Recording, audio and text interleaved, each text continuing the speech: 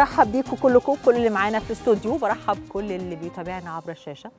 آه سعيدة إنه فقراتنا النهارده هتبقى آه من أجيال مختلفة كفقرات وطبعا متابعينا من أجيال مختلفة. الحقيقة وحاجة من الحاجات المميزة جدا اللي معانا النهارده تجربة الأولى من نوعها. في بنت قررت تعمل لباباها مفاجأة في عيد ميلاده. والواحد سمع عن مفاجآت كتير وقليل. مفاجآت آه، لطيفة ومفاجآت مش لطيفة. مفاجآت تخض ومفاجآت تريح. إنما الابنة دي أو البنت دي عملت مفاجأة لباباها مش على البال. يمكن ما سمعتش عنها قبل كده في حياتي. آه، مفاجأة فيها فن فيها حب فيها حنان وفيها مجهود كبير جدا. وفيها real TV. يعني هي مفاجأة تتقال وتتشاف. الجزئية دي من الحلقة أنا مهتمة بيها جدا لأنه لما بنشتغل كتير في, في الإعلام بيبقى صعب إنه في حاجة تفاجئك في حاجة تبقى جديدة ما عدتش عليك. آه دي دي حاجة ما عدتش عليا قبل كده وقد إيه فيها مشاعر لطيفة جدا. هتكون معانا في حلقة النهارده. معانا في حلقة النهارده نجم من العيار ال- الثقيل نجم كبير جدا. آه، كبير في مساحة الأدوار آه، كبير في التاريخ كبير في المشاكل أحيانا. آه إنما هو نجم كبير. يعني لما طلع كده وكان بيتمشى على مسرح دار الأوبرا في مهرجان القاهرة السينمائي حالة الإعجاب والحفاوة كانت بتسقف له على حاجات كتيرة وأدوار كتيرة و... وظهور كثير حصل في حياته. إنما النجم ده بيمر بمشكلة والحقيقة إن هو جاي عندنا هنا بعد ما خلص آه، أوراق آه، البلاغ القانوني والرسمي اللي هو بيقدمه. حاجة كده نغصت أيامه في اليومين اللي فاتوا. آه، إحنا مش هنتكلم بس على على اللي نغص حياته انما كمان هنتكلم على الحاجات الحلوة والحاجات اللي تتحكي عنه وعن أسرته وعن رحلته في عالم التمثيل. معانا كمان مجموعة بنات مش عارفة ومتحفظة جدا في توصيفهم. يعني كنت بفكر إن أنا ما أوصفهمش نقدم الفقرة وخلاص وانتوا اللي تحكموا. بس مضطر إن أنا أدي تمهيد. يعني هم مجموعة بنات ممكن تقول عليهم مريحين وممكن تقول عليهم جريئين وممكن تقول عليهم مهبوشين أو يعني فيهم ربع ضرب. عملوا حاجة في الشارع على الملأ وقالوا آه، إحنا من حقنا نفرح ونفرح بمزاجنا بدل ما بنضرش حد. خلينا نكون مع البنات اللطاف دول ومع النجم الكبير ومع مفاجأة البنت لأبوها في حلقة النهاردة بعد الفاصل.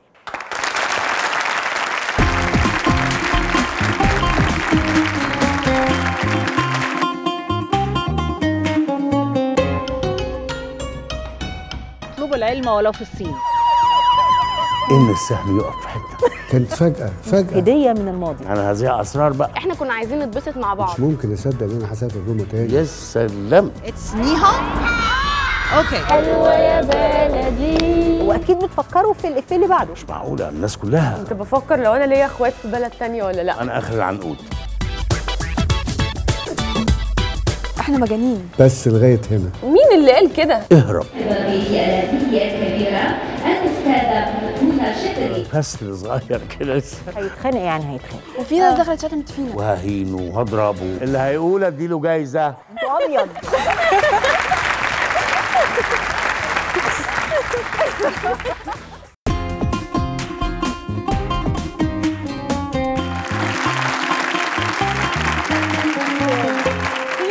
كده في مشهد كده آه، آه، سينمائي تلفزيوني شفناه إنه يبقى في بنات كتيرة أو عرايس كتيرة ماشيين في الشارع.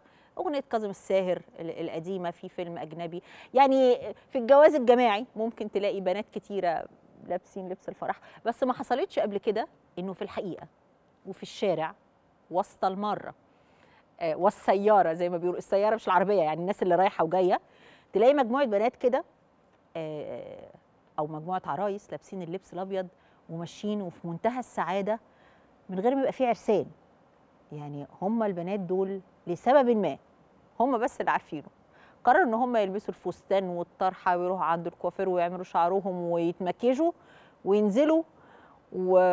ويحتفلوا بحاجة أنا مش عارفاها بس يبقى منظرهم اللي المفروض بيبقى في الأفلام وفي الأغاني في الشارع المصري عادي جدا.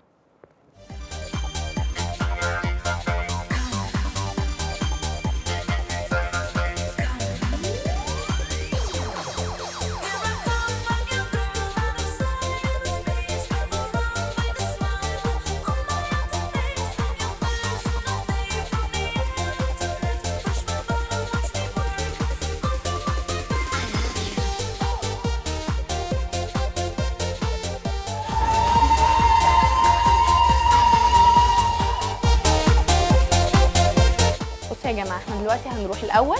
هن... هنروح نعمل photo session بعد ما نخلص ال photo session هنقعد نحتفل بفساتيننا تمام؟ مالكوش دعوة لو حد كلمكم في الشارع حد عاكس حد اتكلم. إحنا نازلين إحنا عايزين نتبسط.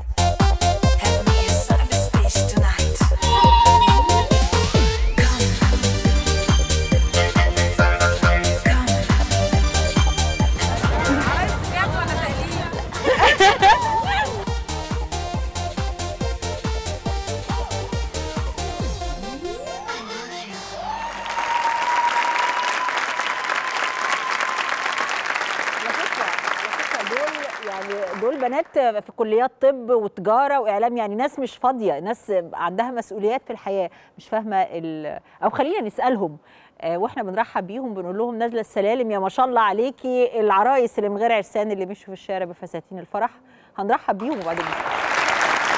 ياسمين عادل آية عماد الدين ندى عصام سارة أحمد روبا سعد إسراء إبراهيم يا هلو أهلا وسهلا اتفضلوا إيه يا بنات اللي أنتوا عملتوه ده؟ مجانين.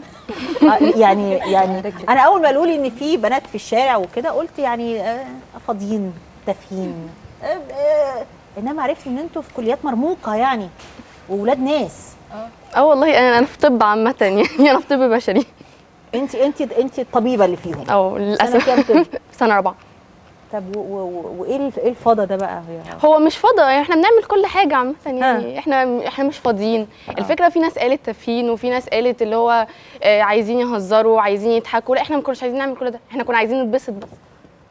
يعني الفكرة في إن إحنا مش عشان إحنا مثلا سنجل أو مش معانا ما. بالظبط ما كنت يمكن يمكن يا عيني آه، يعني فقدتوا الأمل في الجواز مش عيني قوي والله. إحنا مش وحشين. مش الدرجة دي. أنتوا صغيرين يا بنات. أيوه على فكرة. إحنا كلنا صغيرين. طب مسروعين على إيه؟ عايزين ت... يعني مش؟ مسروعين بس هي الفكرة في حاجة معينة مش كل الناس فاهمينها. إن إحنا كلنا يعني قليل أول ما بيحصل ومش بيحصل أصلا إن بنات كلها تلبس فستان الفرح في يوم واحد. لو أنا عرفت أظبطها مع عريسي بعد كده هي مش هتعرف هي مش هتعرف إحنا كنا عايزين نتبسط مع بعض. يعني مش مش العريس يعني أو الراجل هو اللي هيبسطنا. حد يقول لي يعني أنا هسمع كل حاجة. أنا أنا هسمع. يعني برضو إيه الواحد لازم يبقى عنده سعه صدر. ويسمع. قولي.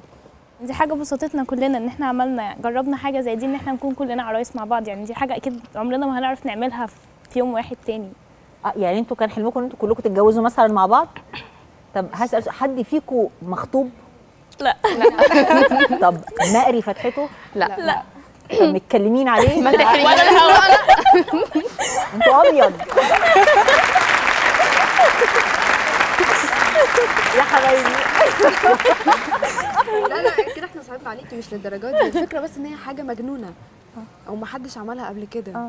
بس. إحنا اتبسطنا مع بعض. آه أنتوا يعني نلبس إيه النهارده يا أولاد؟ نلبس فستان فرح طب لا أصل حاجة زي كده عايزة تجهيز وإعداد ويعني خلاص أنتوا قررتوا تبسطوا نفسكم. طب والفساتين والمكياج وال- لا ما كان في معانا ناس ساعدونا. مين بقى هو- دول اللي اقتنعوا بالهدف الجميل هو الموضوع بدأ بهزار بينا إحنا كنا عامة هنروح آه نقيس عادي فساتين في أي اتيليه ن- نتصور عادي في المراية آه. آه. بتاعة الاتيليه كده بعدين قلنا هيبقى شكلنا وحش هيطردونا انت فاهمة آه. آه. فبعد كده رحنا قلت خلاص أنا هحط post على group اللي لو حد عايز يساعدنا حد عنده فستان قديم عايز يأجره اللي هو تمن رمزي الحاجات دي لقينا بصراحة ناس كتير دخلت ساندتنا وعايز طبعا عايزين حاجة ساندتكم جدا. عايزه عجبهم الفكرة جدا. يعني المرة عارف إن أنتوا بتضحكوا يعني أو ب- آه مش مزنوقين في فستان. لا لا هم عارفين كده. يعني هم في ناس دخلت قالت لي مثلا سعر قليل. في ناس دخلت قالت لي لا أنا هديكي الفستان بتاعي فري خالص. أنا عجبتني فكرتكم جدا. في ناس دخلت تقول لي أنا عايزه أعمل معاكي.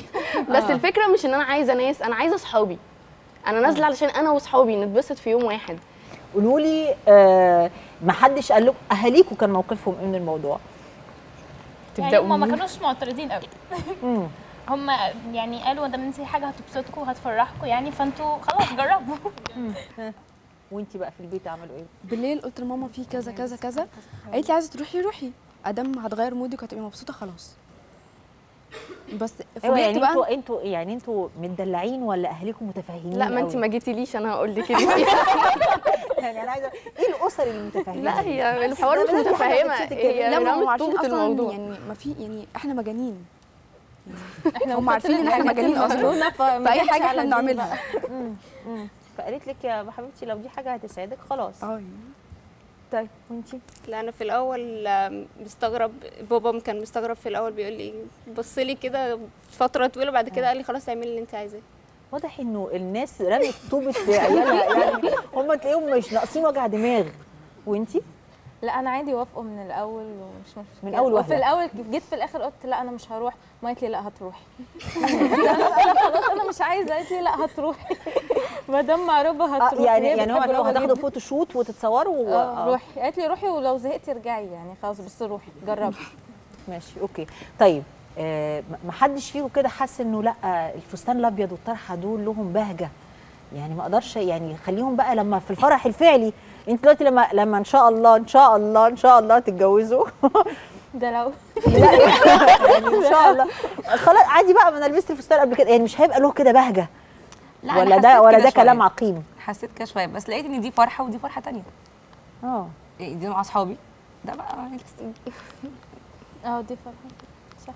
طيب آه بعد ما ما اتصورتوا وكده قولوا لي بقى نوع ال- رد الفعل عامل إزاي. في إيه بالظبط؟ في كل حاجة رد الفعل من الناس رد الفعل من ال comments اللي قلتي عليها.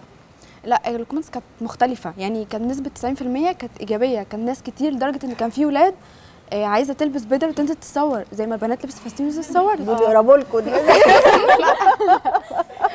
وفي ناس دخلت شتمت فينا. كتير. وفي ناس آه، دخلت برضو دخلت الموضوع في الدين.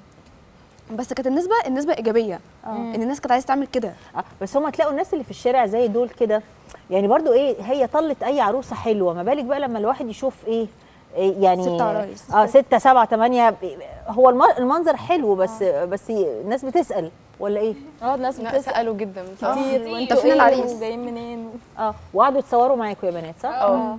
مم. وبعد ما عملتوا التجربة وأهاليكم شافوا الصور ما كانش في أي تعليق. لو أنتوا إزاي مجانين كده؟ يعني. مجانين؟ آه لا. بابا بعت لي صورة على الواتساب قال لي إيه ده؟ اللي هو إيه ده؟ آه هو اتفاجئ. هو هو كان هو يعني هو كان عارف بس اللي هو ما كانش. متخيل الموضوع اللي هو لقاها في بيج وبتاع. آه. بعت صورة على الواتساب بيقول لي إيه ده؟ آه. آه. بقول له صورتي و- والفرحة حلوة مفيش كلام طبعا. ما أعرفش. هو موقف طريف أو هنقول صورة طريفة. في ناس ممكن تقبلها وناس ما تقبلهاش بس البنات نفسهم انبسطوا وما أذوش حد. يعني خلينا نقول يعني لازم في حاجات ممكن تبقى على هان هوانة أو ما تبقاش على هوانة بس ما دام حدش اتأذى يعني بيس زي ما بيقولوا يعني أنتوا بقى بعد كده عرسانكم اللي هيجوا يمكن يعترضوا على الموقف ده أو ما يعترضوش دول دي حاجة تانية صح؟ آه، مش شرط يعني ممكن يقولوا الله ده شكلهم حلو في الفساتين محدش عارف إزاي يعني؟ لا يعني هم دلوقتي شايفوا ما اتصدموش. على فكرة سبب من الأسباب اللي إحنا عملنا كده يعني إحنا جربنا شفنا شكلنا الفستان شفنا الفستان متعب قد إيه على فكرة متعب جدا جدا. إحنا كنا في آخر اليوم كنا عايزين نمشي ونقلع الجزمة ونمشي في الشارع كده. آه آه يعني خبرة عشان لما تيجوا آه، ان شاء الله. تتجوزوا تبقوا تنقوا الفستان المريح. لا هو من أول ساعة أصلا كان متعب تقيل جدا تقيل بطريقة بشعة. آه. هم إزاي أصلا بيقعدوا بيه طول الوقت؟ طب هي دي الخبرات المستفادة. هو ده بقى معلش ده سؤالي الأخير لكم. كل واحدة من اليوم ده اتعلمت إيه ليوم فرحها. يعني أكيد كل واحد اتعلم حاجة. هو عامة من ناحية الفستان خلاص okay أنا جربت فستان منفوش أنا هلبس فستان قصير. اللي هو أنا بغير. التجربة. ونفس الكلام بقى اللي هو لأ في مثلا الميك اب لأ شفت شكلي خلاص أنا مش هتصدم إن شاء الله وكده. ده لو في الشكل والكلام ده. طبعا لكن فرحة الجواز حاجة تاني أكيد يعني ما حدش ينكر. بس دي كانت فرحة صحاب. بس هي دي الفكرة. أنا والله لا ماليش غير صحابي. أكبر حاجة طلعت بيها يعني الصحاب غير برضه. يعني حتى مهما إن آه عريسك والجو ده بس صحابك يعني صحابك معاكي من زمان وبتفرحوا مع بعض وتغلسوا على بعض و... حاجة حاجة حلوة. هلبس كوتشي مش مش heels ولا أي حاجة. تلبسي كوتشي. كوتشي. ال- الجزمة بكعب آه. صعبة قوي مش هتلبسيها صعبة مع. الفستان كمان. آه مش ه... آه، خبرة. أنا هعمل دريس بنطلون. مش هلبس أنا الكلام ده كله. تعملي الفستان البنطلون ده. آه، طب ولو ما كانش موضة ساعتها بقى؟ لا ماليش دعوة أنا ب... أنا ماليش دعوة بالناس أصلا. اللي عايز يقول يقول. آه بنطلون فرح بنطلون. أنا نفس الموضوع حوار الدريس برضو الطويل ده صعب جدا ألبسه تاني. متعب وتقيل والكلام ده كنت تعبت. مش هلبس فستان مش فستان فعلا؟ لا. يعني انت قررتي بعد التجربة دي؟ أيوه خلاص. أمال هتلبسي إيه؟ يعني شوفوا بقى حل تاني غير الفستان الأبيض المنفوش ده. الفستان الأبيض المنفوش حلم كل فتاة. آه بعد التجربة ال ال بعد التجربة العملية في ناس قررت إنه لا هو مش المفروض يبقى حلم كله فتاة. هو ممكن وقت لطيف تقضيه إنما ما هواش الحلم. بنات أنتوا قدامكم ال- ال- العمر طويل والمستقبل كبير. تلبسوا فستان تاني ما تلبسوهوش. أنتوا قلتوا ان أنتوا قضيتوا يوم آه، بالنسبة لكم ظريف لطيف وزغرطتوا لبعض وكل حاجة. آه جدا وغنينا وبراحتنا. آه آه يعني يعني ساعات من السعادة اللي ما وراهاش تمن بعد كده. لا لا لا بيت ولا شقة ولا عيال وكده ورجعتوا قواعدكم سالمين وكلياتكم. ياسمين عادل آية عماد الدين ندى عصام سارة أحمد ربى سعد إسراء آه، إبراهيم. بنات قرروا إن هم يستعجلوا حلم الفستان الأبيض بس بشروطهم آه، وبروحهم آه، الحلوة اللي بلا مسؤوليات. شرفتينا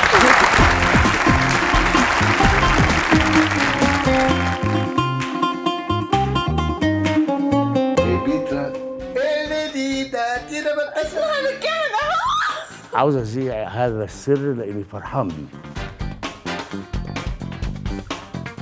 شفت حاجة حقيقية. مش هكمل. حسيت ان أنا ليا ظهر 1 2 3 الصينيين هم مستعدين جدا. والرحلة دي جددت عمري. أنا مش قادر. مش قادر أتكلم فعلا. هدية عيد الميلاد.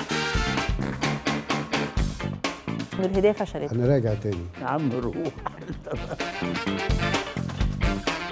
ما بتتكلمش عنها كتير بس واخدة من روح آخدها من بق الأسد. سنين طويلة قوي ما حسيتهاش.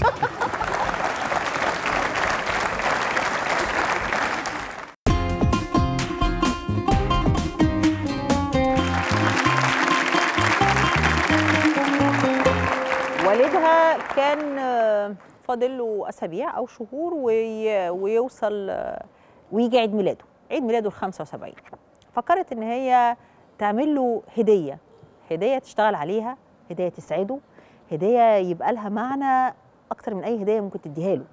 أكتر من أي جرافطه آه، جزمة كارت معايدة وردة. فكرت كويس جدا. وبعد كده آه، عملت شوية إجراءات وخطوات وراحت قالت انت طول عمرك كنت بتكلمني عن باتريتسيا. باتريتسيا البنت اللي كنت بتحبها في إيطاليا. ولظروف كتيرة جدا سبتها وجيت مصر.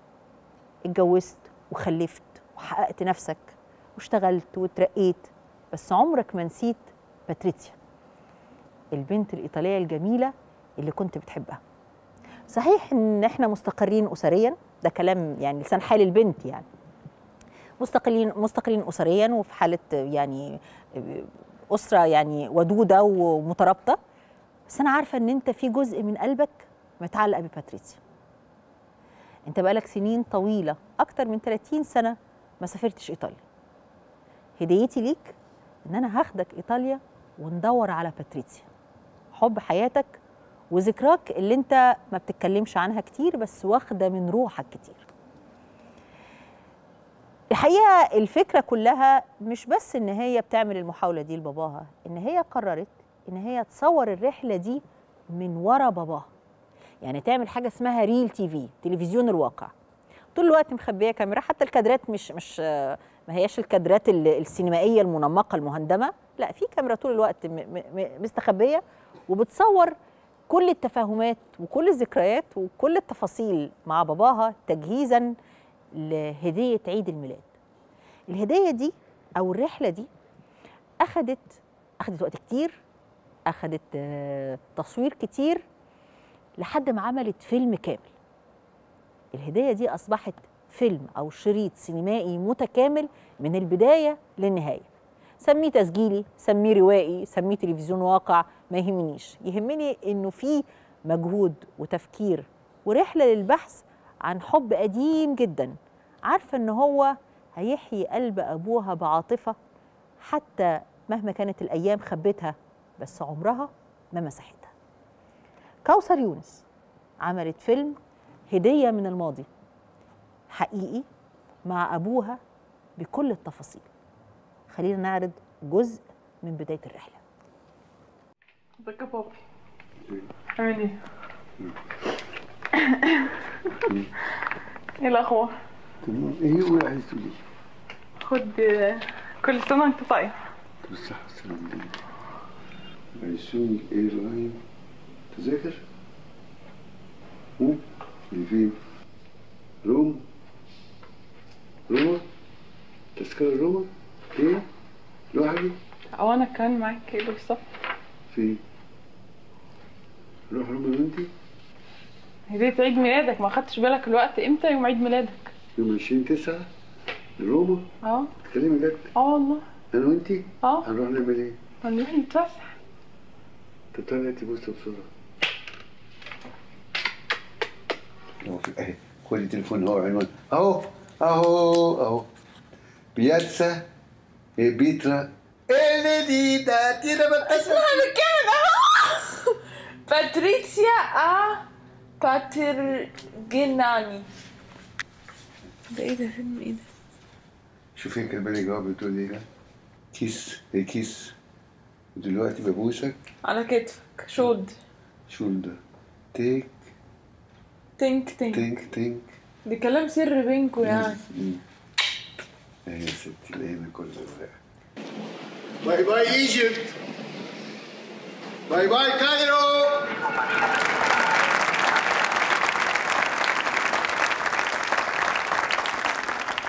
التفاصيل كلها موجودة إنه يفتكر الورق فين والجوابات فين والعنوان فين والصور القديمة.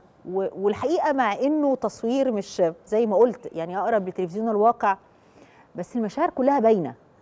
يعني لحظة إن هو يشوف صورة الحبيبة القديمة زمان ويفتكر ويزعل إن هو سابها أو يحس إنه كان مديون لها على الأقل باعتذار كل ده باين.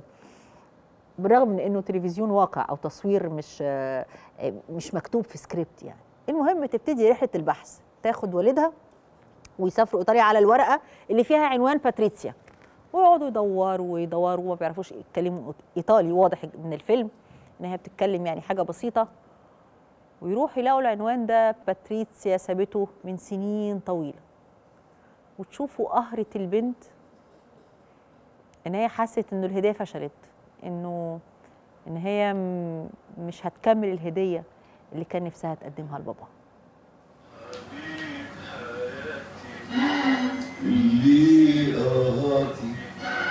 حبيب حياتي.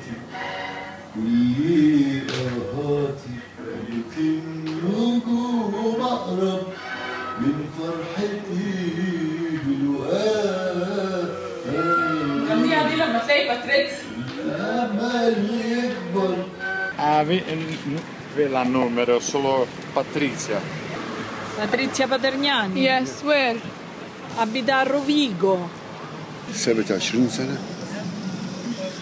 طب في حاجة تانية ما نستنى حد يخش دلوقتي تعالى ناكل حاجة وإحنا قاعدين هنا ونستنى حد يجي داخل هنا نقول له دوفي باتريسيا ممكن تلاقي سايب عنوان هنا مع حد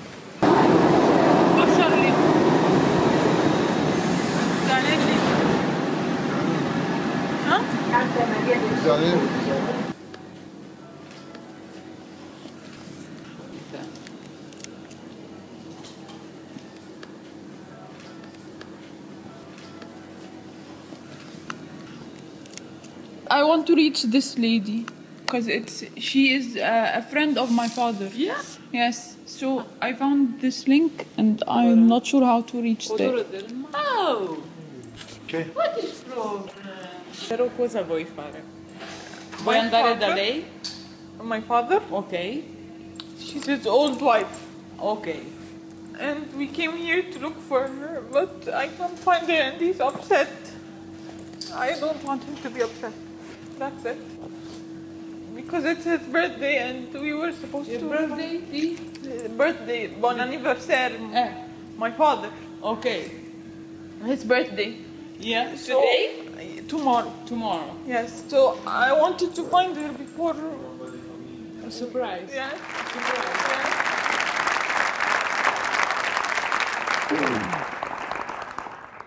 لازم اصارحكم بحاجة ملياش تقل كبير قوي على موضوع التلفزيون الواقع أو تصوير الواقع. يعني مش من الناس اللي بتستهويني إن أنا أقعد أتفرج على الناس وهي بتعمل ولا حاجة في حياتها. تخيلت إن وأنا بتفرج على الفيلم ده أو على الهدية دي إن أنا هحس بالملل أكون عايزة أخلص. ولا دقيقة حسيت بده. حسيت إن أنا مش بتفرج على فيلم حسيت إن أنا بتفرج على مشاعر حلوة. حسيت إن أنا بتفرج على تفكير حلو. بتفرج على على إعادة اكتشاف الحاجات ال- الصغيرة بس هي كبيرة قوي في حياتنا.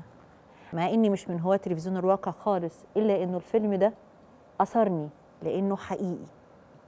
خلينا نستقبل آه البنت اللي عملت الفيلم ووالدها. كوثر يونس بنت دكتور مختار يونس يحكوا لنا عن الهدية اللي هم هدوها لنا لما عملوا الفيلم.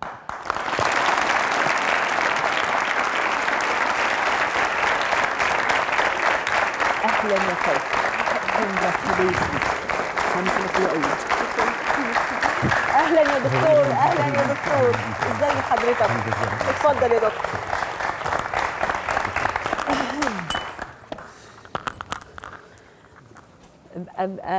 الفيلم بتاعك ده فتني. آه كده آه. إيه، فكرتي إزاي في الموضوع ده يا كوثر؟ هو في الأول آه، أول مرة جات لي الفكرة كنت بفكر لو أنا ليا إخوات في بلد تانية ولا لأ. ليه؟ سؤال يعني وجودي.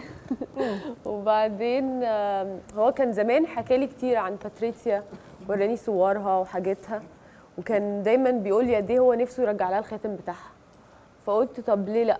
ليه ليه ما احوش شوية فلوس ونروح ونسافر وندور عليها؟ و... بالنسبة لك فكره السفر دي مش الفكرة اللي انت بتعمليها كل يوم. لا دي كانت أول مرة في حياتي. كان لازم تحوشي تمن تذكرتك وتذكرة باباكي وتمن والفيزا. الآيفون اللي كنت بصور فيه وتمن اللابتوب وتمن النضارة وتمن كل حاجة. قعدتي تحوشي فيهم قد إيه يا كوثر؟ لا أنا أصلا بشتغل مساعدة مخرج. آه. آه فكنت قبلها بشتغل مثلا سنة ونص أو حاجة على ما لميت الفلوس يعني. بس و... سنة ونص بتحوشي عشان هدية بابا. آه وبعدين كملي لي. آه. بس بعدين لميت أول فلوس جبت بيها التذاكر. كانت قبلها حاجزاها قبلها بثلاث شهور عشان تبقى أرخص.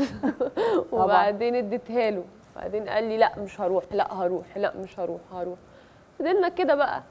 لغاية ما في الآخر عرفت أقنعه يعني. دكتور مختار يونس إيه إيه مش عارفة أسألك قبل ما ما تعرف إن أنت بتتصور ولا بعد ما عرفت إنت إنك بتتصور؟ لأ أنا ما عرفتش خالص طول الفيلم. مم. طول الوقت ما عرفتش لكن عرفت قبل الامتحان بيوم واحد. مم. قبل امتحان هي بيوم واحد. فقلت لها مش هيتعرض. فقالت لي آه طب هي إزاي؟ هي كانت عايزة تقدم الفيلم ده مشروع تخرجها. آه. والمفروض إن كل ده اتعمل من ورايا أنا ما أعرفش. آه. لأن كان معاها ست كاميرات بتصور بست كاميرات plus نضارة كاميرا. فبتعمل كده يبقى بان للشمال آه. كده يبقى tilt up.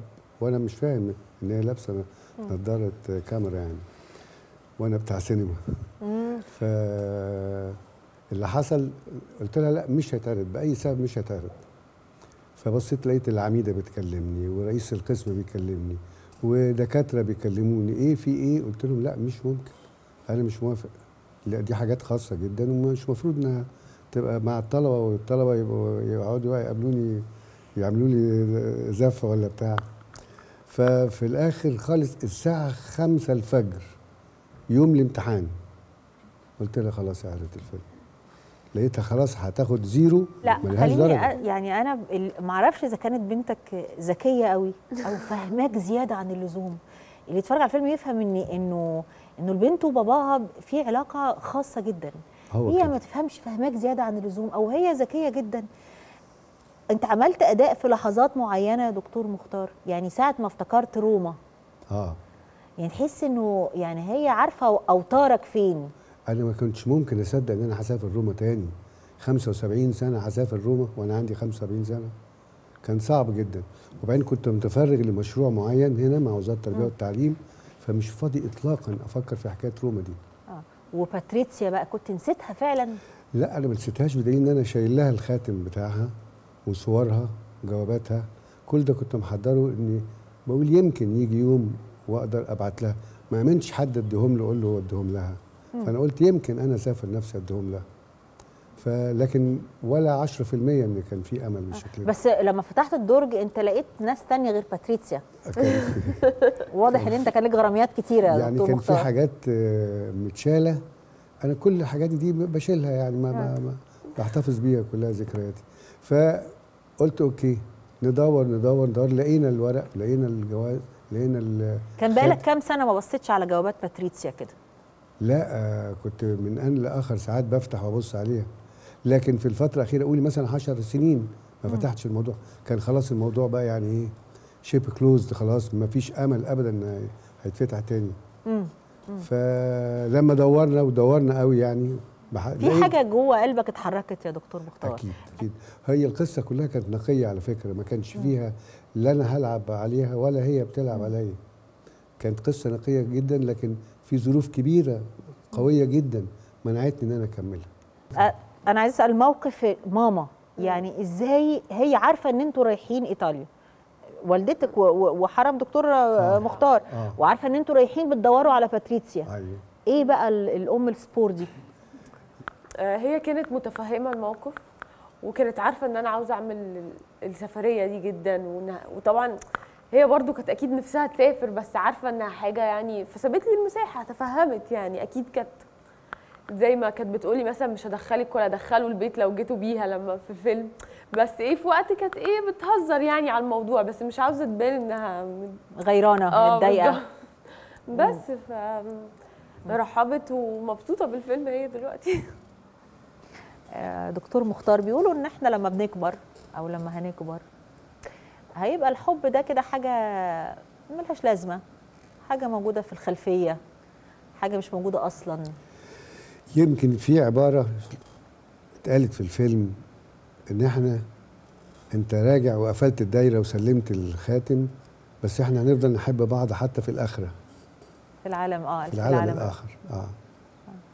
فأنا بتهيألي برضو العبارة دي الصحيحة لحد ما إن الحب يفضل مستمر متواصل وفي مكان ليه في القلب وليه مكان في وجدان الإنسان وفي حياته. يعني لو شفت حضرتك ال- الحالة الصحية بتاعتي ساعتها كانت كنت متدهور جدا صحيا. شوف فات قد إيه على الفيلم ده وأنا لسه وجددت آه آه آه آه يعني مشروعاتي اتجددت أتممت المشروع اللي كنت عايز أعمله. كملته وبقوة وما بقتش بخاف من الموت خالص.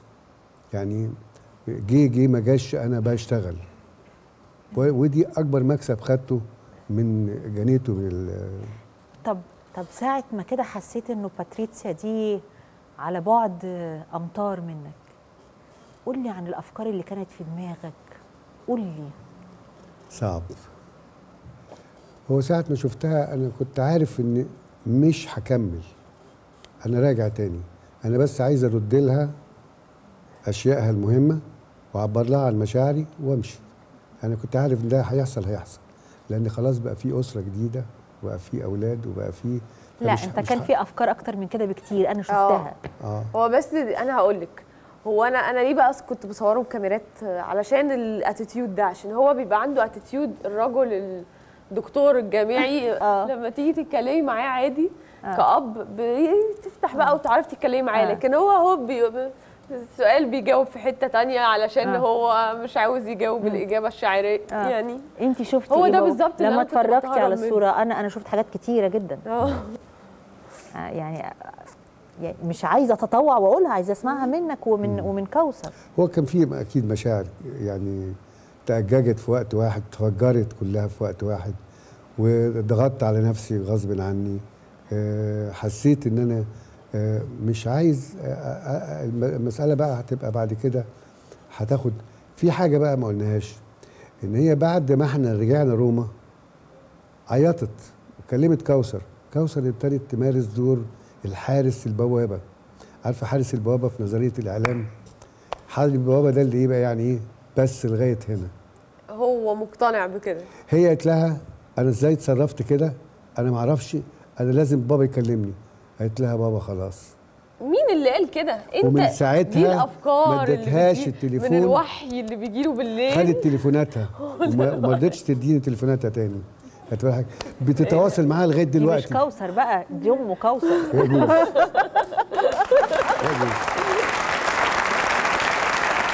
بس بقول لحضرتك عايز أقول لحضرتك إن هي قالت إنها عايزة تيجي مصر دلوقتي. كلمتها. وكوثر رايحة لها روما بعد أسبوع أو حاجة كده. عايزة تروح ترجع لها توريها تتفرج على الفيلم. آه، يعني في تواصل بس من ورايا. طب عايز أسألك سؤال برضو معلش ما تأخذنيش. لما قابلت مع كامل الاحترام لأم الأولاد وال... يعني ده هي الكل في الكل يعني. أنا بتكلم على مشاعر محلقة مشاعر كده لوحدها. ما بيترتبش عليها نتائج يعني. يعني حسيت كده إنه قلبك بيدق بشكل مختلف؟ بالتأكيد. حسيت إنه في حاجة كده بقالك سنين ما حسيتهاش؟ سنين طويلة قوي ما حسيتهاش.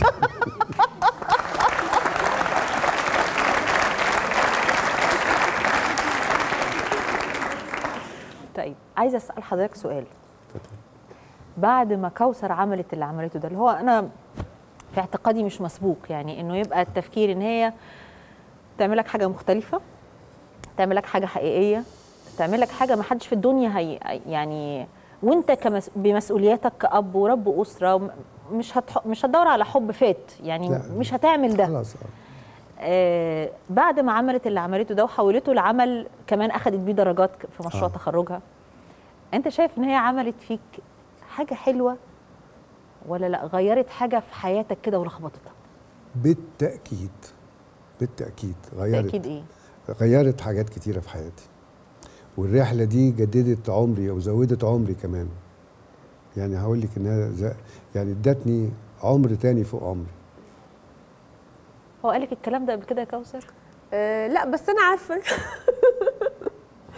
يعني انت عارفة إن نشوف باتريسيا دي هتفرق معاك كتير. آه طبعا. عارفة إن فرق معاه قوي ال... ورجع رجع أحسن من الأول. يعني لما بعد ما رجعنا القاهرة كان صحيا وذهنيا ونشاطيا أحسن من الأول. يعني كان فيها الحب بيعمل حاجات كتيرة طبعا دي معروفة معجزات. يعني. الحب بيعمل معجزات. جدا آه, آه آه. جدا. طيب آه فيلم آه هدية من الماضي أو 20 سبتمبر اللي هو يوم عيد ميلاد آه باباكي آه، بيتعرض في السينما زاوية. آه دلوقتي. آه دلوقتي؟ آه حفلة خمسة. حفلة خمسة. آه. هي هدية. بالنسبة للأب هي من الماضي. بالنسبة لنا وبالنسبة للناس الأصغر من مننا هي هديه هدية كل الأزمان الماضي والحاضر والمستقبل. الحب والمشاعر الحلوة لا لها سن ولا لها عمر ولا لها قيود. المشاعر دي حاجة من أنقى الحاجات اللي ربنا خلقها لنا واللي بيها بنعيش مهما كانت الظروف. اسمحي لي أنا اللي. هسقف لك يا حبيبي كوثر يونس البنت والأب دكتور مختار يونس بشكركم وبحييكم. بشكركم. شكر جدا.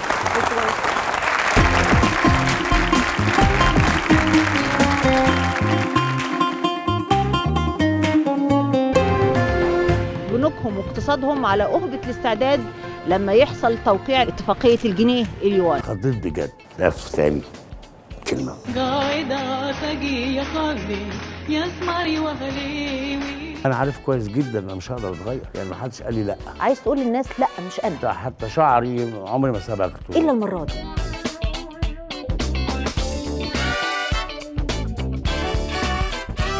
ونسيب حد في الجمالية.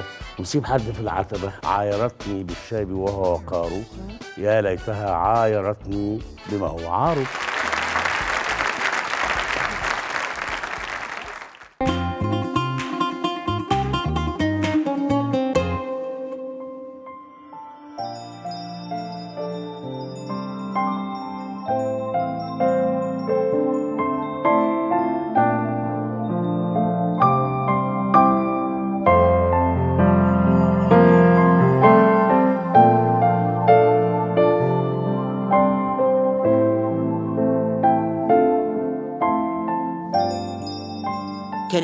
مرة لينا نروح عاصمة الصين. بصراحة اتفاجئنا.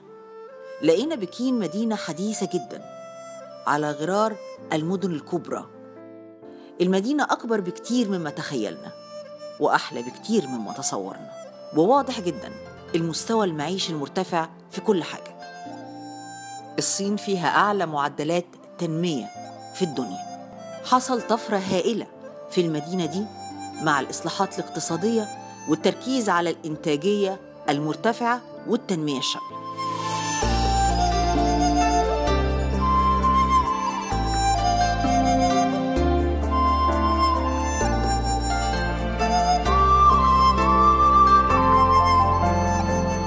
بكين مدينة صناعية كبرى بينتشر على أطرافها المصانع الضخمة اللي بتركز على تصنيع المعدات الثقيلة والمنتجات الكهربائية.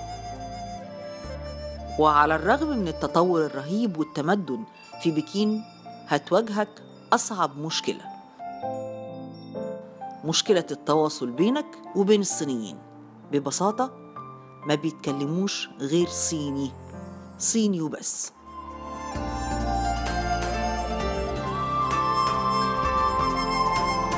في أول يوم وصول لقينا ناس كتير في الشوارع لابسة كمامات. في البداية افتكرنا عشان الفيروسات ولكن لما سألنا عرفنا إن سكان بكين بيلبسوا الكمامات عشان نسبة التلوث العالية جدا اللي بتصل إلى 20 ضعف النسب الطبيعية في العالم. ببساطة لو أنت عايش هناك كأنك بتستنشق دخان 21 سيجارة في اليوم الواحد. تاريخ بكين بيرجع لأكتر من ألف سنة. من وقت الحكم الإمبراطوري اللي ما زال متجسد لحد دلوقتي في مباني المدينة المحرمة ال Forbidden City اللي بيعتبر من أهم المعالم التاريخية في الصين وده بالإضافة لسور الصين العظيم طبعاً.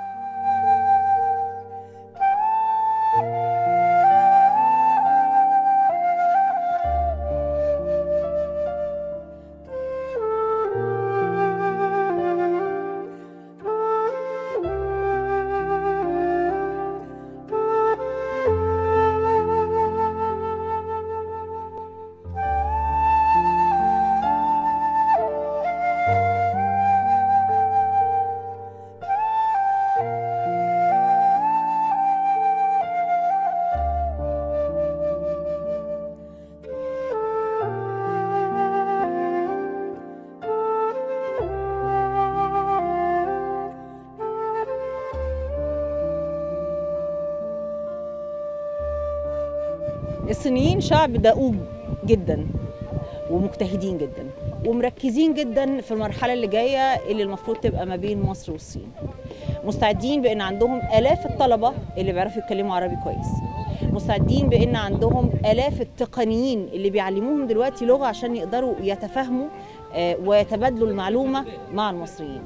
مستعدين بأن هم مجهزين اقتصادهم وبنوكهم لأي تعاون مالي ما بين اليوان والجنيه. هم جاهزين جدا. هل إحنا جاهزين زيهم؟ هم مرتبين كل حاجة. هل نحن كذلك؟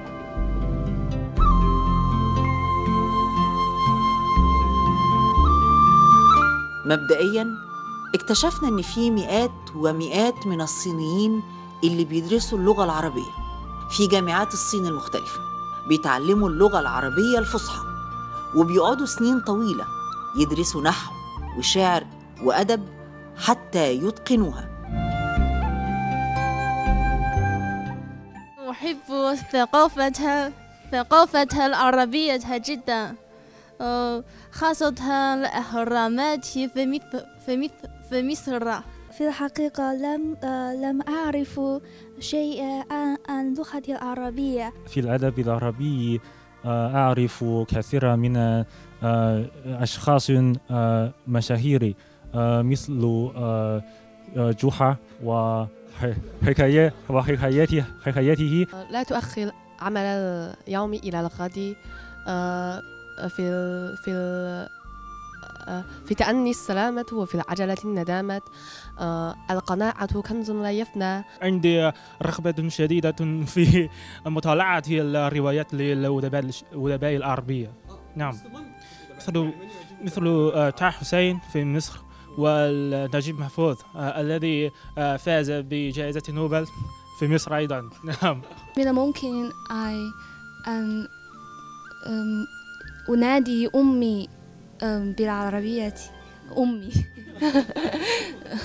أم، أقول أنا أحبك يا أمي. سأذهب إلى القاهرة لأتمتع لأتمتع بالمناظر بالمناظر الجميلة والجذابة. آه، ثم سأذهب إلى آه، إلى إلى الأقصر. أعطني نايا وغني فالغنى سر الوجوه.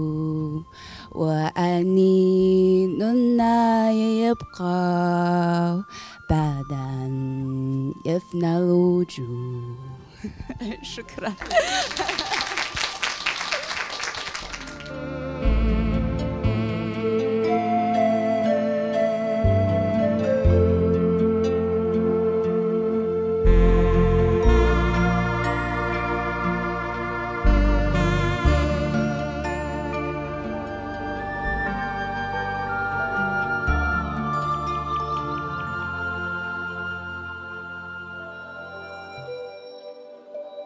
في يوم الأجازة شفنا بعض الصينيين في الشوارع بيستمتعوا بالويك إند بس بطريقتهم الخاصة.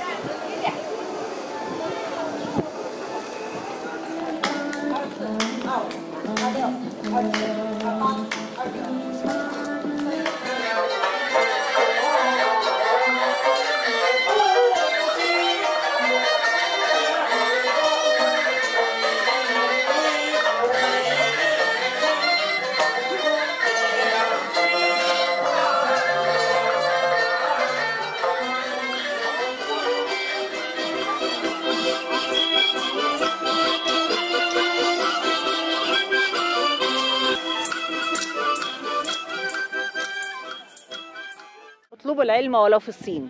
أيوه الطلبة بتوعنا بيطلبوا العلم وهم في الصين.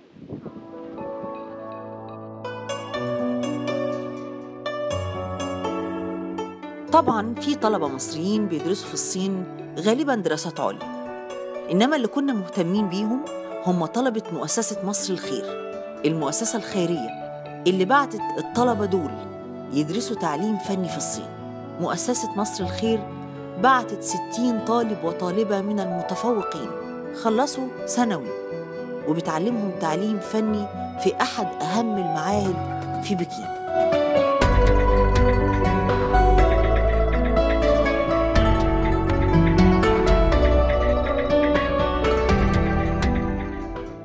طلبة مصر الخير حاجة تفرح وكله بالصيني.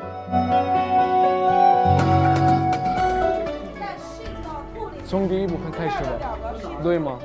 从第一部分开始。先进的是一条兔。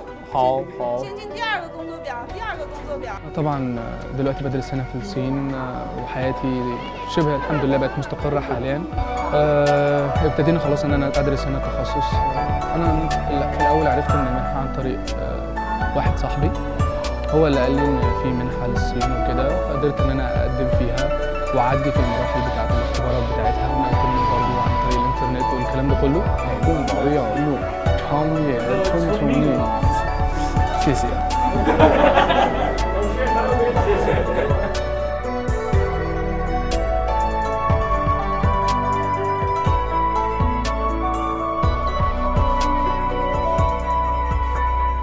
المفروض أول محاضرة بتبدأ الساعة 8 و10 أنا جيت مثلا متأخر دقيقتين مش هينفع أقول لها معلش أنا اتأخرت دقيقتين دول دقيقتين بس مفيش حاجة. لا هنا مفيش الكلام ده هنا مثلا 8 و10 جيت 8 و11 انت كده متاخر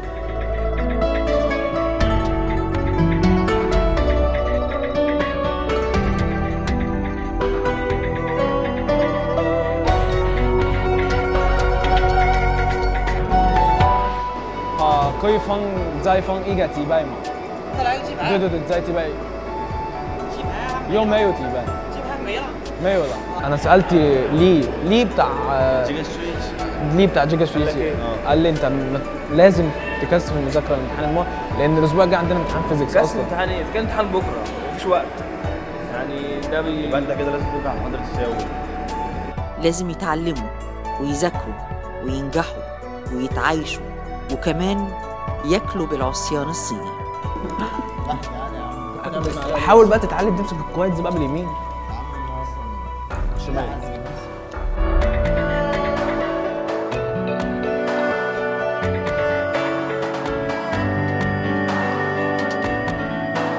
هم عندهم وفاء قوي جدا بالنسبة للصداقات. يعني الصديق هو بيمثل الحيطة اللي بيتسند عليها صديقه. هم عندهم ال- الحاجات ديت بتمثل حاجة قوية جدا في العلاقات عندهم. إن العلاقة علاقة الصداقة من العلاقات القوية جدا الموجودة هنا عند الصينيين.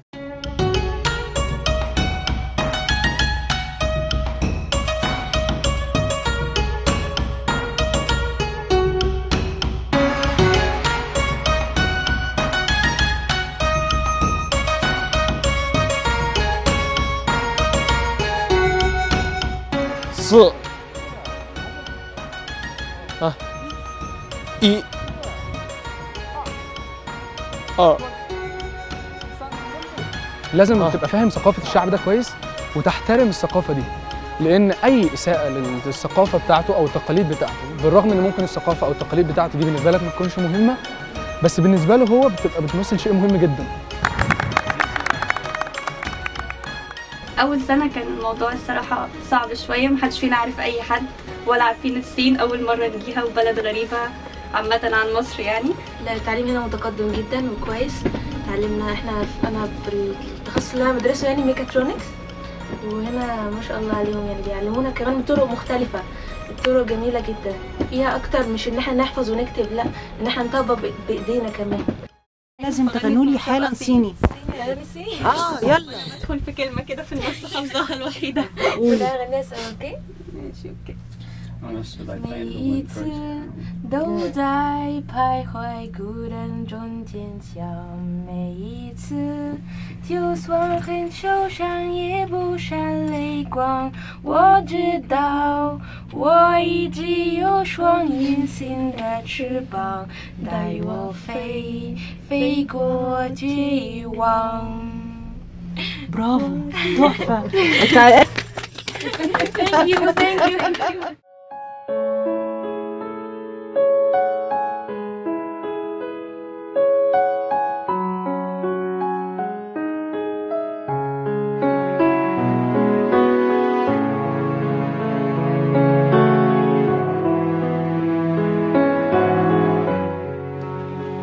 يا شباب عشان المحاضرة. السلام عليكم يا جدعان. زي ما أنتم شفتوا هي دي أوضتنا. إحنا آه تلاتة في الأوضة بس تلاتة ده مش مش حاجة تجب- تمنعنا إن إحنا كلنا نقعد مع بعض ونهزر ونلعب. وفي بنك الحظ بنقعد ونلعب وضياء صاحبنا على طول معانا مشاركنا أفراحنا وأحزاننا ومعتبرينه الرابع بتاعنا في الأوضة والله. ضياء ازيك يا ضياء صباح الفل. بس وضياء مشاركنا كل حاجة. و السلام عليكم.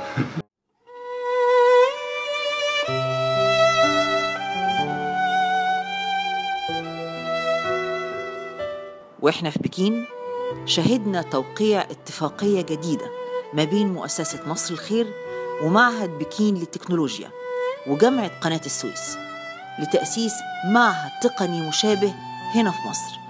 وتأهيل الطلبة المصريين بأعداد أكبر بكتير.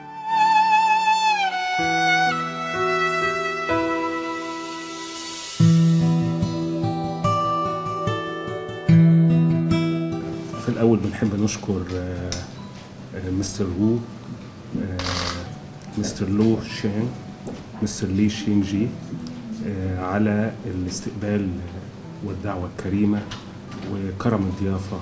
داخل آه، آه، الصين وداخل المعهد العظيم اللي ليه اسم آه، كبير جدا.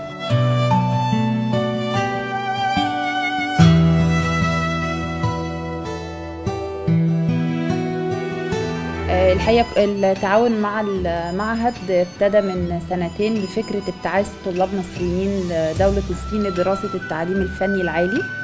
إحنا على يقين تام إن شاء الله إن الكلية في في مصر هيكون ليها دور محترم جدا في رفع كفاءة الشباب لما يتواكب مع الاستثمارات القادمة إن شاء الله بالذات في محور تنمية قناة السويس. هو بيقول له أنا المواد دي شلتها بس حطيت لها السبستيتيوشن بتاعها. حطيت لها البديل. حطيت لها البديل اللي هو في ثقافتها نعم.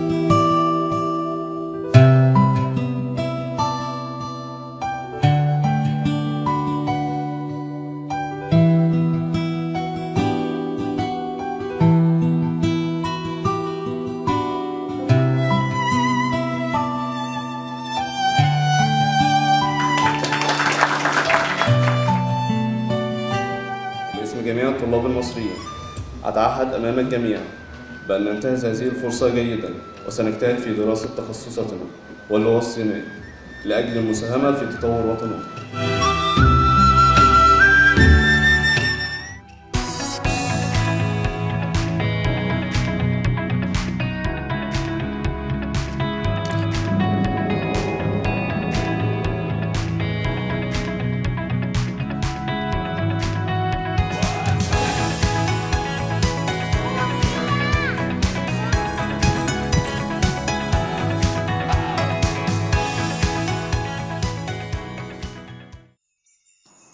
أحد شوارع حي السفارات القديم في العاصمة؟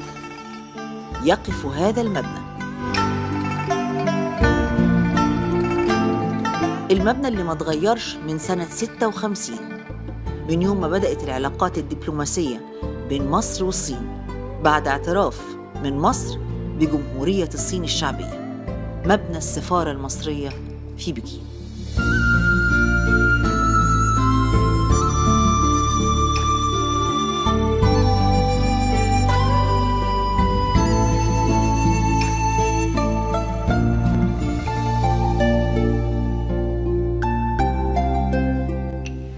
سعادة السفير المصري في بكين آه، السفير أسامة المكدوب وجودكم في العاصمة الصينية في هذا التوقيت آه، في هذه التغي- التغيرات العالمية شيء مهم للغاية. لأي مدى بتعتقد أنه الرهان على العلاقات المصرية الصينية آه، رهان كبير رهان يعني لا يمكن الاستهانة به؟ الحقيقة العلاقات المصرية الصينية شهدت تطور آه، كبير منذ تولي الرئيس عبد الفتاح السيسي مهام الحكم في مصر وشهدت طفرة ملموسة سواء كانت العلاقات السياسية أو الاقتصادية أو الاستثمارات أو حتى العلاقات السياحية. وأنا يعني أعول كثيرا على تنامي العلاقات المصرية الصينية وهي اكتسبت صفة وزخم أكثر عندما تم توقيع الاتفاقية ال- التي حولت العلاقات إلى علاقات استراتيجية شاملة بين البلدين. وتمخض عنها توقيع وثيقة تتضمن 18 مشروع سميت بمشروعات الطاقة الإنتاجية كلها مشروعات تستهدف الصناعة والإنتاج تساعد فيها الصين بشكل كبير وتمول الكثير منها سواء من خلال قروض ميسرة أو من خلال استثمارات مباشرة. الإدارية؟ بالإضافة للعاصمة الإدارية هناك مشروعات في الطاقة والكهرباء سواء كانت محطات إنتاج أو شبكات. هناك مشروعات في النقل هناك مشروعات في الطاقة الجديدة والمتجددة والطاقة الشمسية. هناك مشروعات في محور قناة السويس والمشروعات الجديدة في إقليم تنمية قناة السويس. مشروعات عديدة يدخل فيها الجانب الصيني. كثير من الشركات الصينية عاملة في مصر الآن. طبعا العاصمة الإدارية بتحظى بنصيب الأسد من الاستثمارات. هناك إحدى الشركات في المرحلة الأولى ستضخ استثمارات بمقدار 15 مليار دولار وشركة أخرى في المرحلة الثانية المفترض أن تضخ استثمارات ب 20 مليار دولار.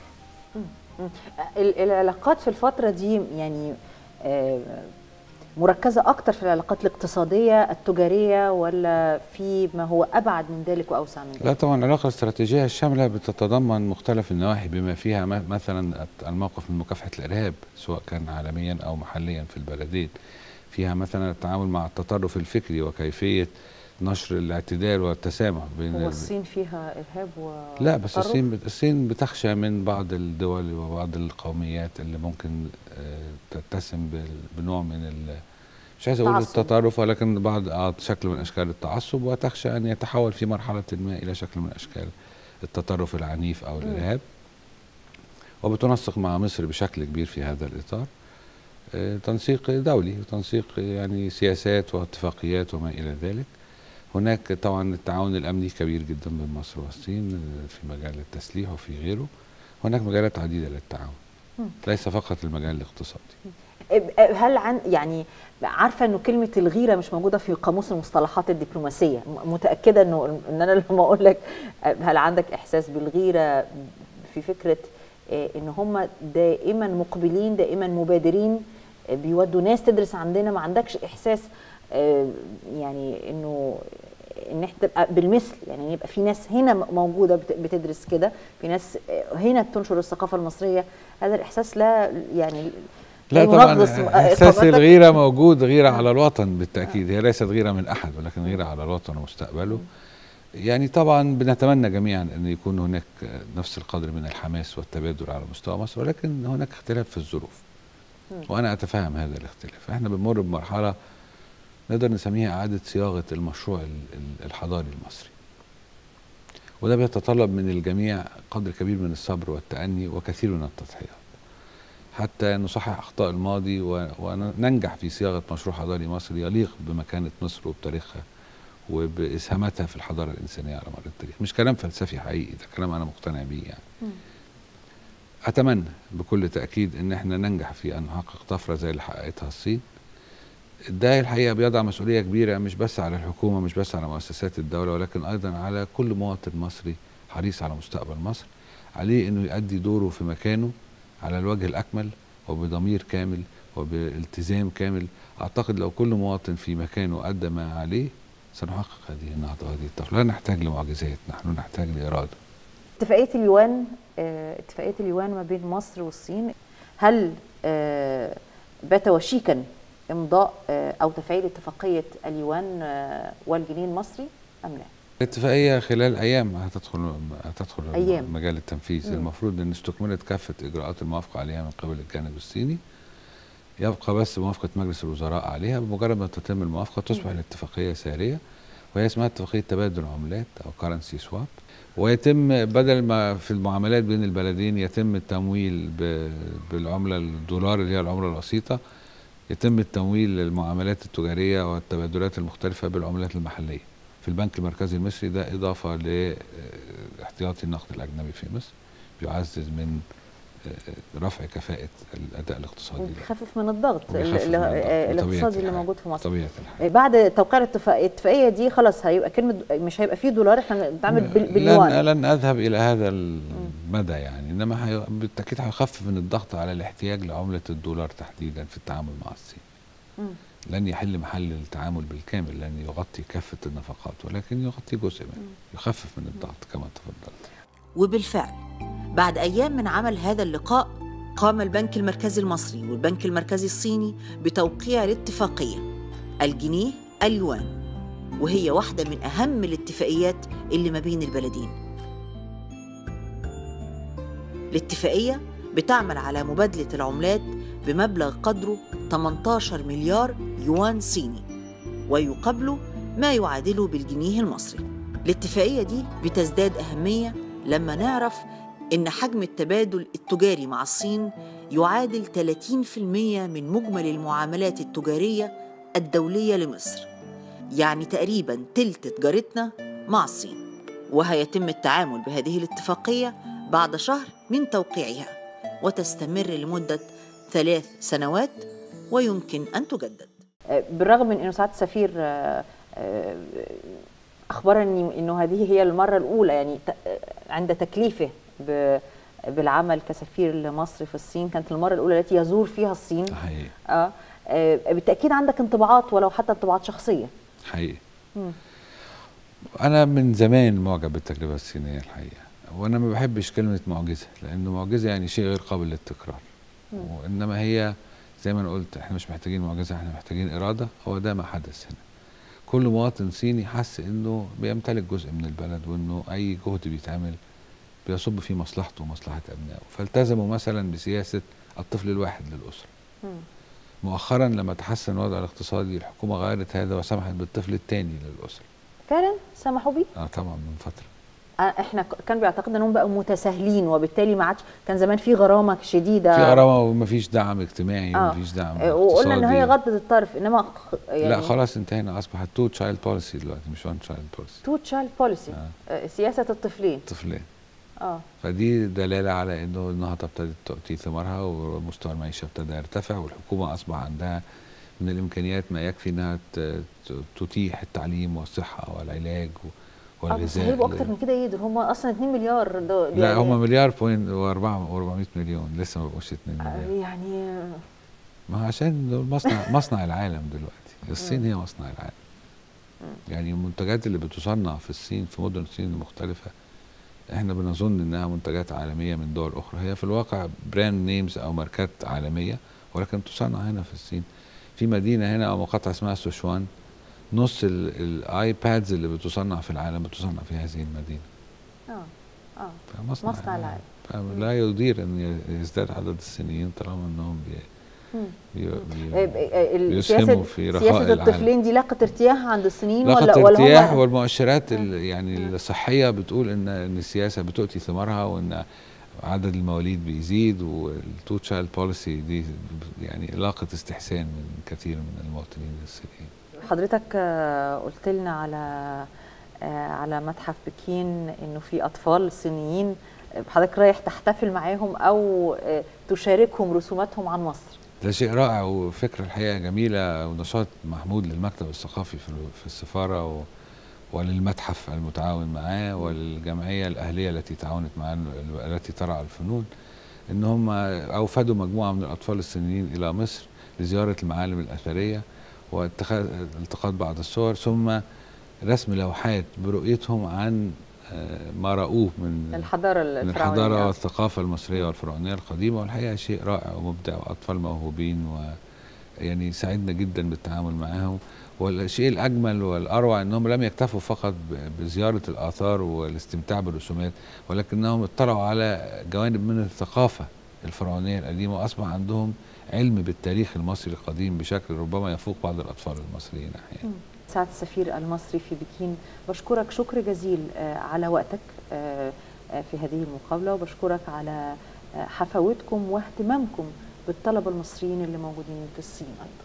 اللي التقيناهم في معهد التكنولوجيا. أنا الحقيقة برضو سعدت جدا وكنت فخور إن أنا ألتقي بشباب مصري واعد بهذا الشكل. وزي ما الكل يعني تفضل وقال سواء المسؤولين في المعهد أو حتى الطلبة أنفسهم دول نواه لمستقبل جديد لمصر ونواه لفكر جديد لأن مفهوم التعليم ال- أو الفني أو ال vocational education في مصر لم يلقى الاهتمام الكافي مننا. في حين إن هو ده مفتاح النهضة في الحقيقة. إحنا عندنا دكاترة كتير وعندنا مهندسين كتير عايزين فنيين وعايزين ممرضين وعايزين حرفيين على أعلى مستوى من الكفاءة والعلم مش مجرد الولد بليا اللي بيتعلم في الورشة أو بيطلع شاطر. لا أنا عايزه يدخل معهد ويتعلم أصول الصنعة وأصول ال technology لأنه الدنيا اتغيرت عن زمان. فهم الحقيقة شيء مشرف ومفرح. يعني أنا سعدت مرتين مرة بلقاء الشباب المصري الواعد في معهد التكنولوجيا ومرة بلقاء الأطفال الصينيين الموهوبين في المتحف صباح هذا اليوم. إنه حقا العام المصري الصيني. إنه العام المصري الصيني بامتياز بدون شك. شكرا جزيلا سعادة شكرا. لك وأسعدتونا وشرفتونا. شكرا جزيلا.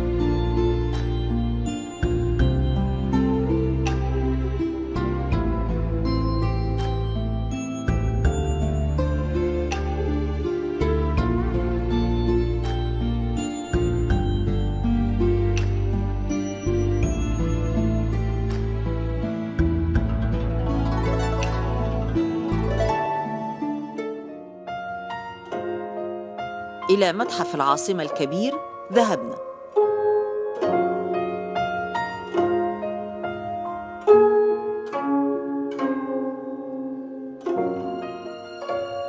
رحنا نشوف الأطفال الصينيين وهم بيرسموا لوحات عن مصر القديمة عن مصر الفرعونية.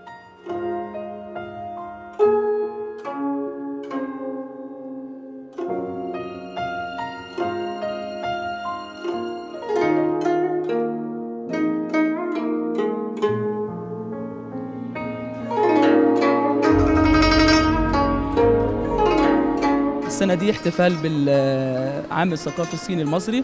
إحنا النهاردة بنعمل آه، مهرجان آه، بيجمع الثقافتين مع بعض من خلال عيون الأطفال الصينيين اللي موجودين وإن هو هيكون حاجة في آه، خطوة جديدة إن تخلي الأطفال من صغرهم يحبوا الفنون المصرية لأن الفنون المصرية هي أم الفنون في الدنيا.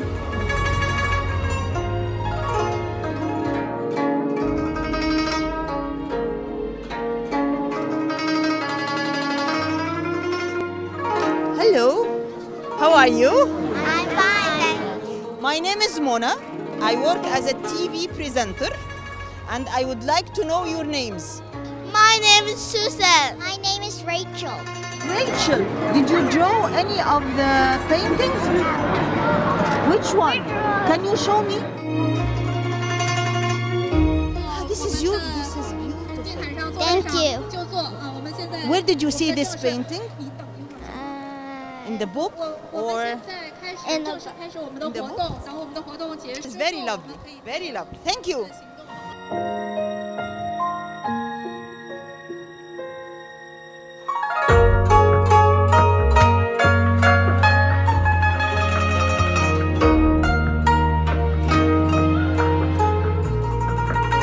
Hi.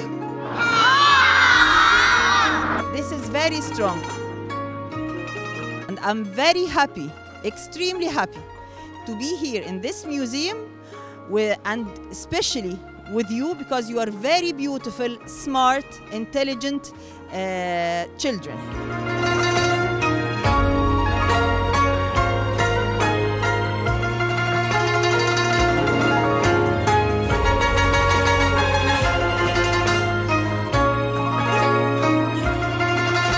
بمناسبة العام الثقافي المصري الصيني آه، حبينا إن ننقل ال- الفعاليات إلى الأطفال تشارك في هذه الفعالية. فخدنا مجموعة من الأطفال الصينيين وراحوا زاروا مصر وشافوا المعابد وشافوا وادي الملوك وشافوا البحر الأحمر والإسكندرية والمتحف وتشعبوا بهذه الأفكار. فلما رجعوا الصين ابتدوا من خلال جمعية الفنون ياخدوا هذه اللوحات ويرسموها عن مصر.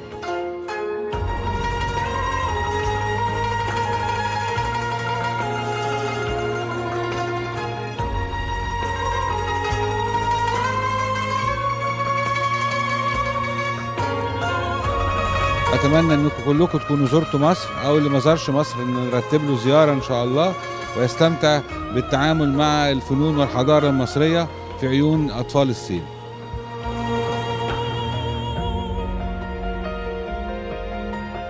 Can you say bye for the Egyptian children? Can you say wave bye? Yes. Yes, say, do like this. Can you? Yes, all of you. Yes, all of you. And you. And you.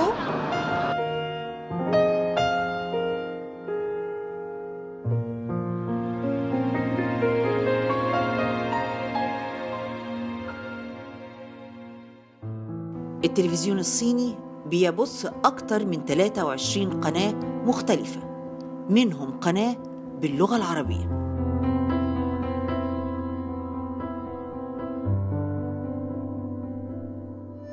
القناة دي بتعمل برنامج كبير زي جوت تالنت برنامج للمواهب الصينية اللي بتتكلم عربي. ودعينا إننا نحضر تصوير الحلقة النهائية مع كل السفراء العرب الموجودين في بكين. أولا لنتعرف على أعضاء لجنة التحكيم من خلال التقارير لنتابع الشاشة. 搁在星空下绽放笑容。 أصدقائنا في وسط الإعلام وأيضا نرحب بإعلامية كبيرة الأستاذة منى شدري من قناة سي بي سي المصرية شكرا جزيلا سعيدة جدا بوجودي في هذه التجربة الرائعة على آه، تلفزيون الصين المركزي سعيدة بلقائي بكل هؤلاء السفراء العرب المفتخرين. آه، ليس فقط سفير بلدي آه، السفير المصري ولكن بكل سفراء الدول العربية الذين تشرفت بلقائهم. وسعيدة بموقف عربي رائع في دعم المتحدثين بالعربية في الصين. إنهم نموذج رائع للتعاون والدعم في المكان المناسب. في التوقيت المناسب. شكرا جزيلا وأدعو كل جمهور CBC لمتابعة هذه الحلقات الرائعة.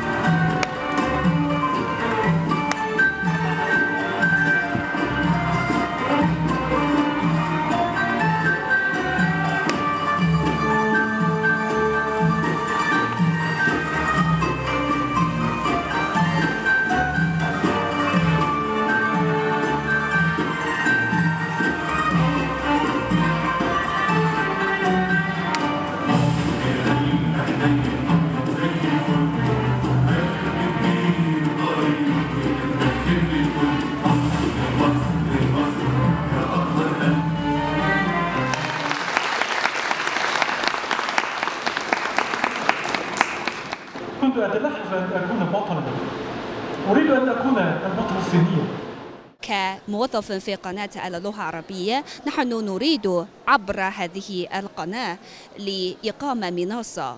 فلذلك نحن في عام 2014 كان قمنا بإقامة مسابقة الدورة الأولى.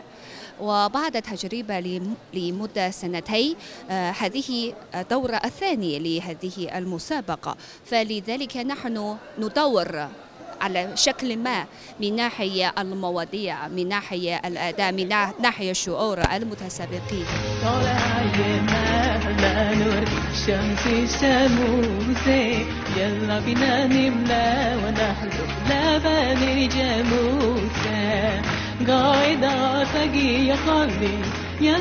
وغليوي أوجه طاقية وخلي غني يا غنيوي قل قلبه يا قلبي يا خلي يسمر وغليوي قدم لي وردي وخلي هلوي يا عروسه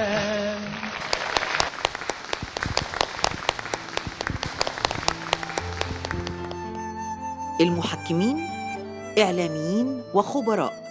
من اتحاد الإذاعة والتلفزيون المصري ومنظمة اليونسكو. مستوى الأداء على مستوى الإبداع سرعة البديهة آه، آه، امتلاكهم لناصية اللغة العربية يعني كبير مش يعني كلنا الله في عونهم كتر خيرهم يعني فعلا. عربية يعني كبير مش يعني كلنا الله في عونهم كتر خيرهم يعني فعلا.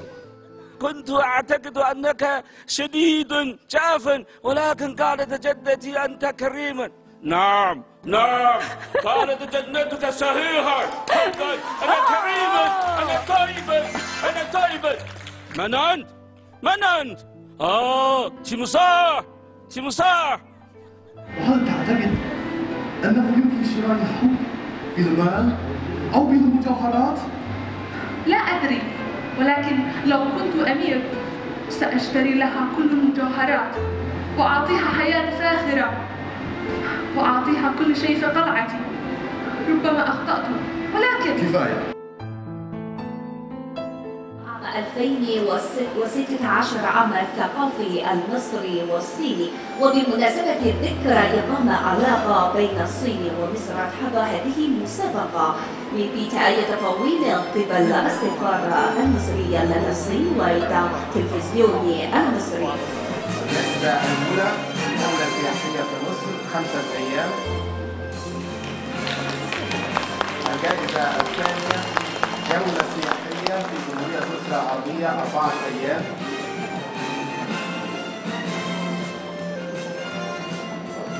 وهذه هي الجائزة الثالثة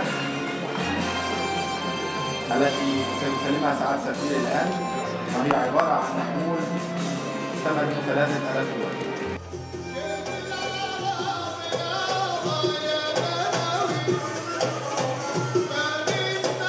الكلام من بكين ما انتهاش.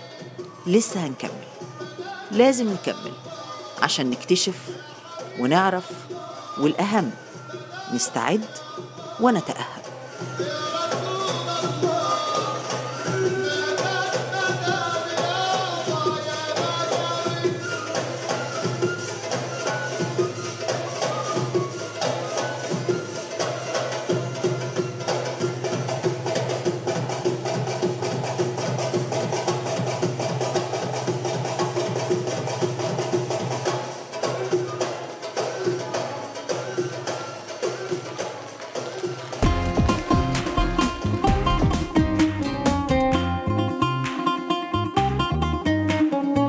كويس جدا أنا مش هقدر أتغير. أنا ما بقولش الكلام ده. اتخضيت بجد. سر عن أحمد. أنا قلت أحمد عشان بس إيه يعني أخبي السر. حسيت إن أنا ليا ظهر. فجأة قالوا له إيه اللي أنت بتكتبه ده؟ يعني هي بتيجي كده.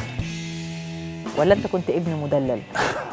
آه أنا هذه أسرار بقى. أستاذ في الجامعة ده اتبخر. يا عم روح. أنت ما أعرفش أعمل شاي يقول لنا كلمتين. وانت جايب كام؟ 67 إن السهم يقف في حتة. واحد قال لك إعدادية. أكيد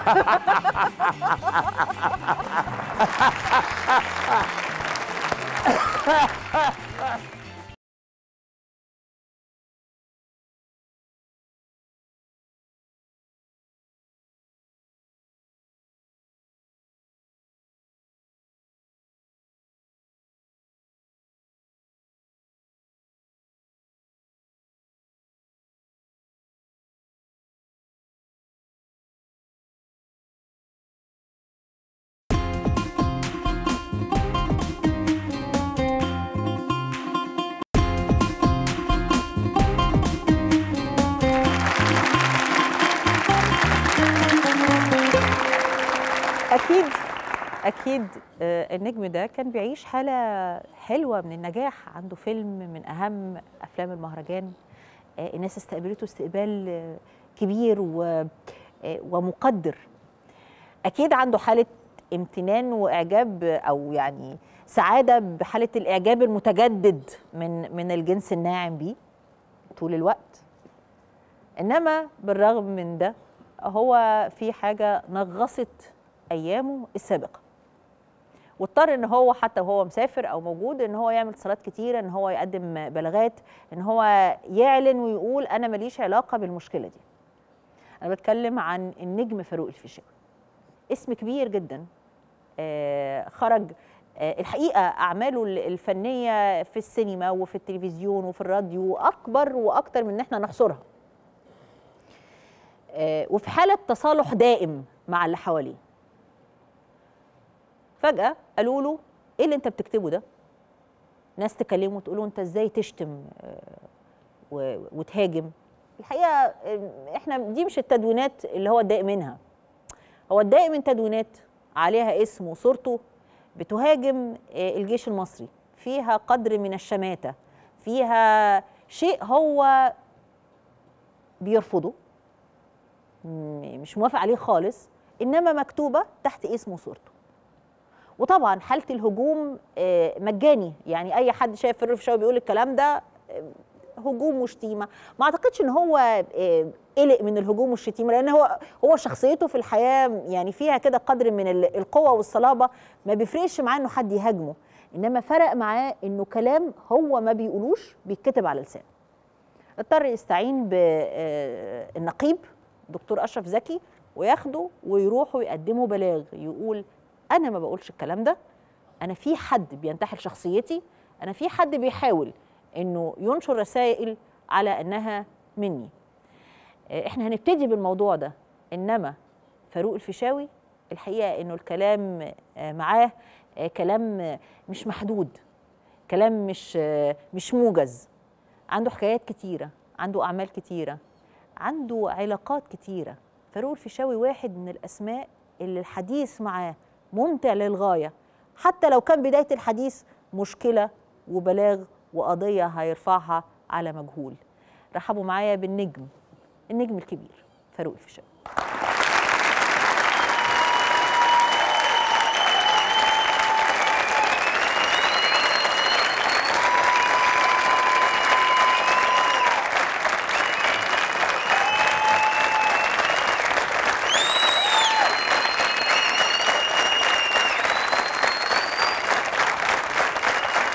اتفضل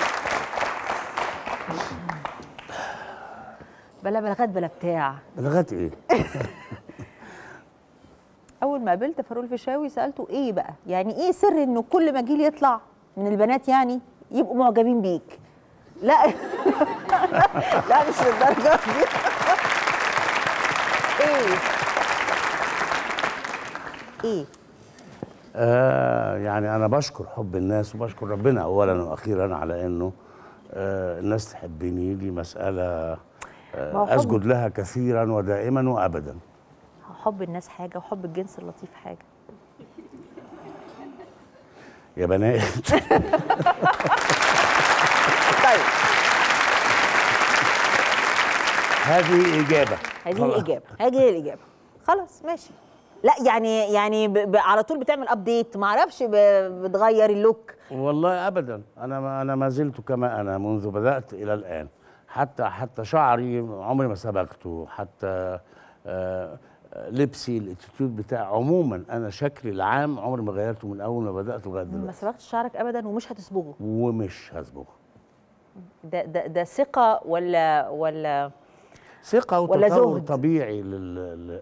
يعني كل سن وليه حلاوته.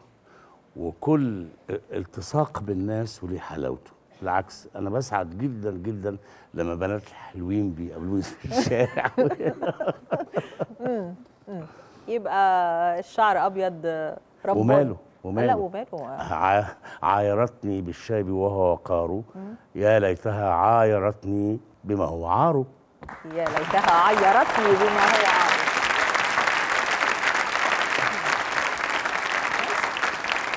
ماشي دلوقتي فاروق الفيشاوي في أي محفل في أي مكان بتلاقيه مع يعني في أي لحظة عنده استعداد إنه يقول رأيه بصراحة.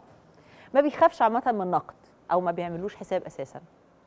و و وعنده القدرة إنه يشتبك مع اللي قدامه بصوت يعني ما عندوش كده إن هو ممثل أصل هو آه، يبقى مقيد يتكسف لأ. هو زي ما هو كده في في المحافل الخاصة والعامة. إلا المرة دي. عايز تقول للناس لأ مش أنا. ولا يمكن أكون أنا. أنا آه الجيش المصري خط أحمر. الجيش المصري يملك عقلي ويسكن قلبي. وده مبدئي في الحياة. اولا أنا مع الجيش المصري منذ ثوره 52 لأني ناصري. فاذا أنا مع الجيش المصري. ولا يمكن آه، وأكره الصهيونية كرها عميقا من أعماق قلبي. فلا يمكن إذا يعني إذا تطاول أحد علي وقال أنني أصف الجيش المصري بالصهيونيين فهو مخطئ. وهو يعني خائن. وهو قذر. كل الصفات السيئة تبقى فيه لأني أنا أكره الصهيونية فكيف اصف واحدا من أو يعني من أبناء وطني وخصوصا إذا كان من الجيش المصري أنه صهيوني. أنت عرفت إزاي إنه في حد عمال يقول الكلام ده على لسانه أبلغوني أصدقائي لأن أنا اولا أنا لم يكن لي حساب على توي على تويتر ولن يكن. آه. فأبلغوني أصدقائي إن أنا إيه يعني بيرددوا آرائي بس بشكل مختلف. آه. آه فما اهتمتش. كلمت مين؟ قلت أدبر حالي إزاي؟ والله أنا اتصلت بالمحامي بتاعي مباشرة. على طول. على طول. وطبعا آه، أنا عضو في نقابة المهن التمثيلية ويجب أن ألجأ إليها دائما في أي شيء يخصني. فاتصلت بنقيب الممثلين دكتور أشرف زكي وتقدمت ببلاغ عن طريق المحامي وطريق النقابة إلى مباحث الإنترنت. وهم الآن يبحثون عن هذا الشخص الذي اخترع هذا الحساب باسمي مم. بالنسبة لك المسألة انتهت بالبلاغ ولا لأ؟ هتفضل لحد ما يجيبوا الشخص ده. أنا هفضل أنا فاروق الفيشاوي موجود وهفضل زي ما أنا مش هتغير. طبعا أتمنى إنهم يجيبوا الشخص. ليه؟ علشان يرتدع كل من يصور لنفسه أن ينتحل شخصية فنان. علشان يقول أي عن حد مش أي فنان حد. شخصية أي حد أي حد مم. أي حد مم. إيه، حسيت إنك مضطر في وقت من الأوقات إنك تقعد تبرر إنك تكلم أصحابك تقول لهم ساعدوني أتصرف إزاي في طبعا أصدقاء كتير تطوعوا حتى من غير ما أطلب منهم مم. إنهم يعني ينفوا آه، في وسائل الاعلام في وسائل ال social. media والتواصل الاجتماعي آه، إنهم ينفوا لأنهم عارفين يا جماعة لأ اوعوا زي مين بقى؟ في حتى من غير من حتى من غير ما يسألوني زي جميع أصدقائي في الوسط الفني وجميع أصدقائي خارج الوسط الفني عماد رشاد محمود الجندي آه، آه، وكثيرين يعني. نبيل ال- الحلفاوي. نبيل الحلفاوي طبعا طبعا عمنا طبعاً. صلاح عبد الله. طبعا صلاح عبد الله آه، كثيرين. آم، الأستاذ الكبير العظيم الكاتب اللي بحترمه وبقدره ولي علاقة به منذ زمن أستاذ صلاح منتصر. آه أستاذ صلاح منتصر كمان من غير ما يرجع لك هو فاهم إنه مستحيل تقول كنت بتقول مستحيل لأنه يعرفني جيدا. فنفهم من غير حتى ما يسألني. آه، قد إيه كنت ممتن لل- لل- للناس دي للأصدقاء اللي يعرفوك للأصدقاء اللي مستني مش مستنيين إشارة بدء للأصدقاء اللي حاسين إن عليهم واجب تجاه صديقهم. آه، يعني حسيت إن أنا ليا ظهر. وأذكر كمان ال ال الإعلامي والكاتب والروائي محمود الورواري. اهتم جدا جدا. وهو اللي جالي وقال لي لا لازم نعمل ولازم يعني إيه؟ قال لي على حاجات ممكن نعملها ترد على هذا. مم. مم. آه، كلمتهم بعد كده ولا لا؟ خلاص حسيت إن هم عملوا لا إحنا على تواصل. إحنا على تواصل. نبيل الحلفاوي بيقول فاروق الفيشاوي ليس له حساب على تويتر اطلاقا آه أنا شخص انتحل اسمه وصورته. انتحى الاسم وصورته. عشت قد إيه كده متكدر متضايق؟ لغاية دلوقتي. لغاية دلوقتي أنت متضايق؟ آه، جدا جدا. ليه؟ لأن لما حاجة تمس مبادئك وأخلاقك وتربيتك وعمرك لازم مش سهلة.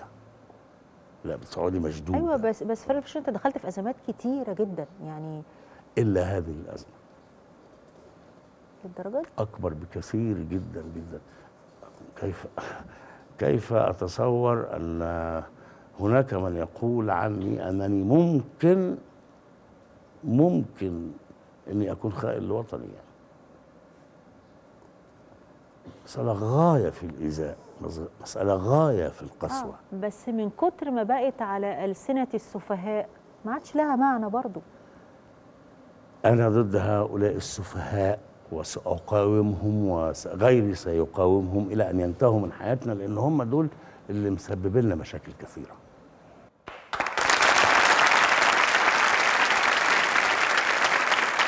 من هو الجيش؟ أخي وابن عمي وأخويا وجاري وقريبي اللي من البلد وصاحبي اللي من البلد وكل الناس. هم الجيش المصري. هم ألو... هم الوطن. فيعني دول مش بعاد عن ابدا. لأن شهداء مصر آه، يعني كنت أتمنى أن يكون واحد منهم. فبالتالي هم أقرب ناس لي اللي دافعوا عني ودافعوا عن كل الناس هم دول اللي بيكونوا الجيش المصري. آه أنا استغربت الحقيقة تخيلي عن شخصية فاروق الفيشاوي هو الشخصية اللي ممكن ما تقفش كتير عند ال عند الآلام والنكد والزعل. ده ده كان تصور يمكن أكون غلطانة فيه. فاستغربت بقول لك أنت متخيل الموضوع خلص. فاستغربت لما تقولي إنك لسه متضايق لحد لا دلوقتي. متضايق ما زلت ما أقدرش أنكر. عاوز أتخلص من هذا الألم من هذه القسوة من لغاية ما يبقى في رأي عام يقول لا مم. طيب ما عندكش تويتر ما عندكش فيسبوك لا عندي فيسبوك آه، أحيانا لل... يعني للنم وال... يعني إيه ساعات بقرأ حاجات تضحكني وساعات بقرأ آه. حاجات بس أنا مش آه. حريص قوي على ال social media دي على ال- ال- التواصل الاجتماعي في- من. خلال الفيسبوك أو من خلال كل. الحسابات اللي بيعملوها. خالص. يعني ما عنديش ال- أقول لك حاجة هحكي لك أول ما طلع الكمبيوتر مم. أنا راجل بحب أقرأ الورقة وبحب أكتب في الورقة و- و- و- وعيني مع الكلمة هي اللي بتغذيني مم. داخليا فأول ما عملوا بقى الكمبيوتر وبتاع كان في حاجة زمان دلوقتي بقاش تستخدم اسمها الماوس الفارة آه الفارة دي آه. الكمبيوتر قدامي كنت اعمل الماوس كده فجه أحمد كان كبر شوية بقى. فقال لي يا بابا انت مش معقوله الناس كلها على الكمبيوتر والناس كلها على النت وانت قلت له طب وريني كده إزاي؟ إن السهم يقف في حتة قلت له مش عاوز الحكاية دي مش. عاوز من. بابه. وإلى الآن آه يعني أنت موبايل آخرك موبايل ت... آخر الموبايل أطلب واطلب آه ده كفايه قوي ولا بقى الأندرويد ولا ال- ال- التاتش ولا اللمس ده ولا الحاجات دي خالص مم. طب والموبايل متوائم معاه ولا مضايقك هو كمان؟ يعني يعني بالكاد. الحقيقة ما أقدرش أقول إن أنا متوائم كاملا إنما بالكاد لأنه بقى وسيلة مهمة جدا للأسف. آه. مع إن إحنا كنا بنلاقي بعض جدا قبل الموبايل. اهو ده بقى السؤال اللي نفسي أسأله. إزاي كنتوا بتلاقوا بعض من غير موبايل؟ كنا بنلاقي بعض بسهولة شديدة. والناس تزور بعض من غير ما ي... ده من قبل التليفونات وفي حتى. وفي وعلى فكرة إحنا ما كانش عندنا تليفونات آه، يعني. أرضي. اللي لما التليفون كان بيتقدم طلب والطلب ده يمشي ويروح هيئة. تليفونات ويروح وزارة المواصلات وبعدين يوافقوا لك وبعدين يدوك ميعاد والميعاد ده بعد شهرين ثلاثة وبعدين بعد شهرين ثلاثة يقول لك معلش اصل إحنا ركبنا في الحتة الفلانية فيقول فكان يعني مأساة انك انت وبعد ما. يركب ما يبقاش في حرارة الحرارة تيجي بعدها بشوية. تيجي بعد مم. شوية والحرارة تنقطع دائما. إنما كنا بنلاقي بعض. إزاي بقى؟ لأنه يعني كنا بنمشي. كانت الشوارع جميلة. كان الحياة أسهل. كان كل شيء جميل وسهل وبسيط. يعني أنا أذكر أنا جامعة عين شمس لما كنا بنطلع من الجامعة علشان آه، آه، اللي ساكن في مصر القديمة واللي ساكن في المانيال واللي ساكن في العباسية وعبدو باشا فكنا بنعدي النفق بتاع آه، جامعة عين شمس ده ونمشي نمشي نمشي نتكلم ونضحك ونعمل ونسيب بقى حد في عبدو باشا ونسيب حد في الجمالية ونسيب حد في العتبة ونسيب حد في التحرير واللي يكمل بقى لغاية القصر العيني وفوم الخليج والسكر والليمون واللي يحود يمين على. المانيال. ما كناش آه، بنلاقي غضاضة في الحكاية دي. بالعكس كنا بنتبسط أكتر. ولا تتعبوا ولا تزهقوا ولا أي حاجة. خالص. آه. على سيرة الجامعة حد فيكم يعرف فاروق الفيشاوي أول ما دخل الجامعة دخل كلية إيه؟ شكله يدي إيه؟ صيدلة. مين؟ حد قال صيدلة؟ آه. نعم. تجارة. دار علوم. آه. لا هو إحنا مش بنخمن إحنا بنقول لايق عليه يعني ده تخيلوه كده من تخيلوه من سنين طويلة مخلص ثانوية عامة ودخل الجامعة. شاب صغير كده هندسة. هندسة. ده؟ هندسة صيدلة. لك إعدادية.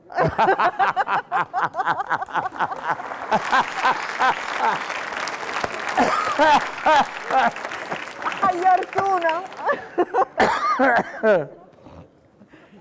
آداب إيه بقى؟ كنت آداب إيه؟ آه، أنا يعني دخلت ال- الجامعة. أنا كنت هاوي تمثيل. بشتغل في فرق المدرسة الابتدائي والإعدادي والثانوي.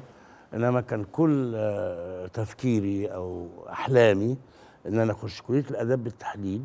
وآخد ليسانس آداب وعن ماجستير وبعدين دكتوراه وأشتغل مدرس في الجامعة. حلمك إنك تبقى أستاذ في الجامعة. آه ده كان أحلامي. مم. حتى وأنا في ابتدائي كنت بكتب آه، في اسمي كلية آداب كلية الآداب. مم. وبعدين التحقت فعلا بكلية الآداب وكنت آه، نفسي أدخل قسم إنجليزي. آه. إنما مرضت يعني حين التقديم. وحين قبولي في كلية الآداب عن طريق مكتب التنسيق مرضت أسبوعين. مم.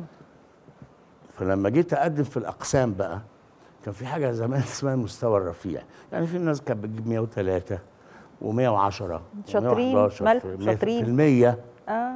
آه، فطبعا أنا لما جيت بعد أسبوعين أقدم في قسم إنجليزي قالوا لا قسم إنجليزي اتمالى وانت جايب كام؟ 67 يا عم. يا عم روح فقعدت أدور في أقسام أحب الفلسفة أحب الاجتماع أحب آه. التاريخ جدا آه. آه. آه إنما لقيت قسم اسمه اللغات الشرقية يعني اللغة لأنها بتستهويني كان آه. آه. ساعتها آه حلو. فدخلت قسم اللغات الشرقية آه آه تركي وعبري وفارسي في السنة الأولى آه ثم تتخصصي في لغتين منهم ولاني اكره الصهاينة والعبريين. تخصصت تركي وفارسي. يعني بارلو فارسي يعني؟ أه؟ بتتكلم فارسي؟ لا لا ده كان زمان بقى. تعرف. آه يعني أتكلم تركي شوية فارسي شوية ناصر سينيز إيام تشكوري دارم حاجات كده. لأن اللغة آه يعني ممارسه آه ممارسة. آه بس معلش معلش فاكر إيه من من مناهج سنه أولى بالتركي قول لي كده. أو الفارسي الفارسي يعني كنت بدرس مثلا تاريخ السلاجقة دولة السلاجقة في آه. دولة فارس آه. دي أذكرها كويس جدا جدا السلاجقة بحب كانوا في الدولة كانوا في الدولة العباسية صح لو أنا مش آه، تق- تقريبا أيوه متهيألي. وبعدين هم يعني جماعة من الجماعات المتطرفة آه اسمهم الإسماعيلية أو الحشاشين أو آه. يعني كما كل الجماعات المتطرفة في آه يعني أنتوا مش بس. بتدرسوا اللغة أنتوا كمان بتدرسوا ال- ال- ال- التاريخ الجو العام والتاريخ والمنطقة والجغرافيا وكل شيء يعني وال- فاروق الفيشاوي أنا طول عمري عارفه إنك خريج معهد فنون مسرحية انما ما كنتش عارفة إنك كنت طالب في آداب آه، فارسي وتركي ودي آه، ده. صحيح آه وحلم بقى إن أنت تبقى أستاذ في الجامعة ده اتبخر تبخر تماما؟ بكلمة إزاي؟ تبخر بكلمة لأنه إحنا في الجامعة وفي الجامعات المصرية عموما في وقتي في ال في ال يعني 2030 اللي جاي يعني كان الوقت اللي أنا كنت عايش فيه يعني. إنه كان بنت... أنا أنا على فكرة التحقت بفريق التمثيل في كلية الآداب قبل أن أدخل قسم اللغات الشرقية في ال... آه. من أول يوم لقيت سهم كده بيقول مطلوب آه، الطلاب الممثلين يتقدموا. فتقدمت إلى التمثيل قبل ال- ال- القسم بتاعي. آه، في الجامعة بنتعرض لروايات. لإيه؟ لروايات. روايات آه. محلية مسرحيات يعني محلية آه. وعالمية على مستوى عالي جدا. وبيخرجها لنا جميع الأساتذة الكبار اللي بيخرجوا في ال في ال آه، يعني في الاحتراف. سعد أردش نور دمرداش آه، كرم مطاوع آه، بيخرجوا. زرقاني جوه الجامعة. آه. والمحكمين كمان بيبقوا برضو أساتذة كبار بيحكموا على التمثيل وأنا في سنة ثالثه في الجامعة كنت بعمل مسرحية اسمها لعبة كل يوم اللي عملها نجيب الريحاني. وأحد المحكمين كان الأستاذ نجيب كان الأستاذ عبد الحليم الزرقاني. وهذا أستاذي وأدين الله بالفضل وهو اللي خلاني أحترف التمثيل.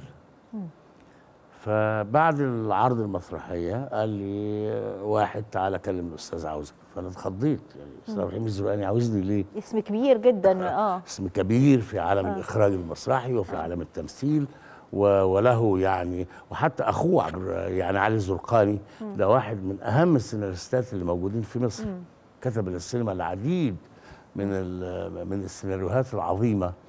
فرحت له أيوه يا أستاذ تحت أمرك قال أنت بتعمل إيه هنا؟ قلت له أنا طالب في كلية الأداب. قال أنت مش هتنفع غير إنك تبقى ممثل. أنا اتخضيت. اتخضيت بجد. ما فهمتش الكلمة ما استوعبتهاش. بس بعد كده لما قعدت أفكر إن هذا الرجل العظيم لما يقول لي حاجة زي كده لازم أفكر فيها بس مش تعدي. وقد كان. صدر على حلمك قال لك يا ابني أنت ما تنفعش غير كده. إنك تبقى ممثل مم. سنة من التفكير المضني.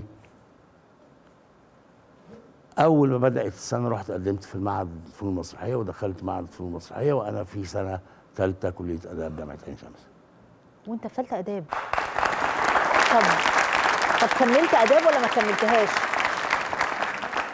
قعدت أربع سنين أكمل المعهد واقدم اعتذارات في كلية الآداب لغاية ما اخذت المعهد ورجعت كملت كلية الآداب. طيب وأهلك بقى كانوا موافقين على إن أنت تدرس مسرح وتمثل وكده؟ أنا أهلي آه، يعني عندنا حرية في العيلة يعني آه، ما ما حدش عارضني خالص. يعني ما حدش قال لي لأ. أنا عارفة إنك من أسرة متوسطة من الصعيد. الص- من الص- هي أسرة ريفية عاشت فترة في الصعيد. آه. لكن أنا اصولي ريفية.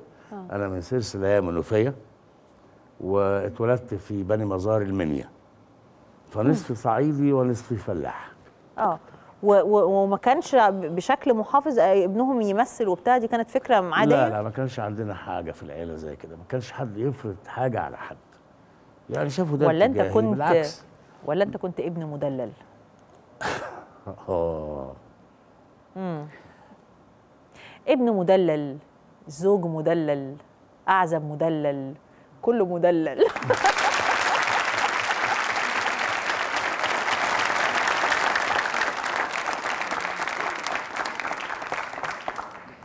أنا كنت مدلل غصب عني. يعني كنت لا أتمنى أن أكون هذا المدلل لأنه أنا آخر العنقود. عندي خمس إخوات أك- أكبر مني. مم. انت عارف آخر العنقود عندنا في بلادنا الشرقية ده اللي يعني فرخة بكشك ده اللي على الحجر. زي ما بيقولوا. فأنا دللت من أبويا وأمي جدا جدا. وبعد كده كمان بعد وفاة والدي دللت جامد من إخواتي. الخمسة لا يعني. مالكش طلب يرفضوه أو أو نهائي. نهائي؟ نهائي. وبعدين ده تعبني في حياتي بعد كده لأنه يعني هذه أسرار بقى. أرجوك. يعني أنا ما أعرفش أعمل شاي أيوه بس أنت عايش لوحدك. يعني الحمد لله عندي ناس بيحبوني وبي آه. بي بيتولوا أمري يعني. لكن لو ما عنديش حد في البيت أنا ممكن أنزل الصبح وألبس هدومي من غير ما أفتح الثلاجه أشرب كوباية مية. آه. يا عيني على سمية الألفي واللي جم بعدها. آه هو أنت من النوع ده من الرجالة.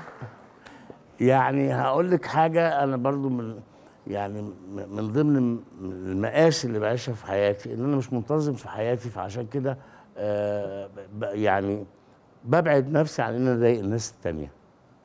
أنا عاوز طلبات كتير جدا ودلع كتير جدا فبلاقي نفسي غتيت وغلس. آه عايز اللي يحضر لك هدومك واللي يجيب لك كل ال- حاجة في الدنيا.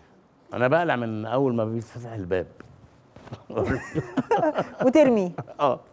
ولازم حد يلم ورايا أه. فبالتالي ولما. كانت واحدة من زوجاتك تتخانق معاك عشان كده تقول لها إيه؟ للأسف الشديد أقول لها آه، انت أنت اخترت الشخص المزعج. وأنا متأكد إن الشخص المزعج ما بقولهاش كده يعني عشان أرضيها لا. طب هسألك سؤال كده يعني إيه؟ آه، مين أكتر واحدة يعني روضتك شوية؟ لا ما حدش قدر. يا خبر أبيض بتسقفوا على إيه؟ أنا أنا عايزة البنات بيسقفوا على إيه؟ الستات أنا ما حدش قدر لدرجة إن أنا يعني غير متزوج من سنة 98 حتى الآن. ما قابلتش على نفسي بقى إن أنا أبقى مزعج لناس تانية أكتر من الناس اللي أنا ازعجتهم أنت مش من الناس اللي كنتوا مثلا بداية حياتك آه، آه، الحياة كان فيها صعوبات اقتصادية صعوبات ماد- صعوبات مادية وتحديات عشان. عشان تتقدم في شغلك. يعني الحياة مش سهلة فمش قادرة تصدق إنه في واحد مدلل كده ممكن يعمل المشوار ده كله. أنا يعني ما هو إيه الإنسان البسيط دائما يفرح بالأشياء البسيطة. يعني أنا أنا الحمد لله يعني وبشكر ربنا على على الرضا. والرضا بالمقسوم عبادة. إنه آه، إنك تبقى راضية عن اللي أنت فيه وتحاولي تتوائمي معاه بالشكل اللي يخليكي دائما مبسوطة وسعيدة. ده اللي بيخليكي تكملي في الحياة. فيعني مثلا لما كان ما عنديش بيت وبقى عندي شقة صغيرة أوضة وصالة يا سلام! ده شيء يعني حققت أمل كبير جدا.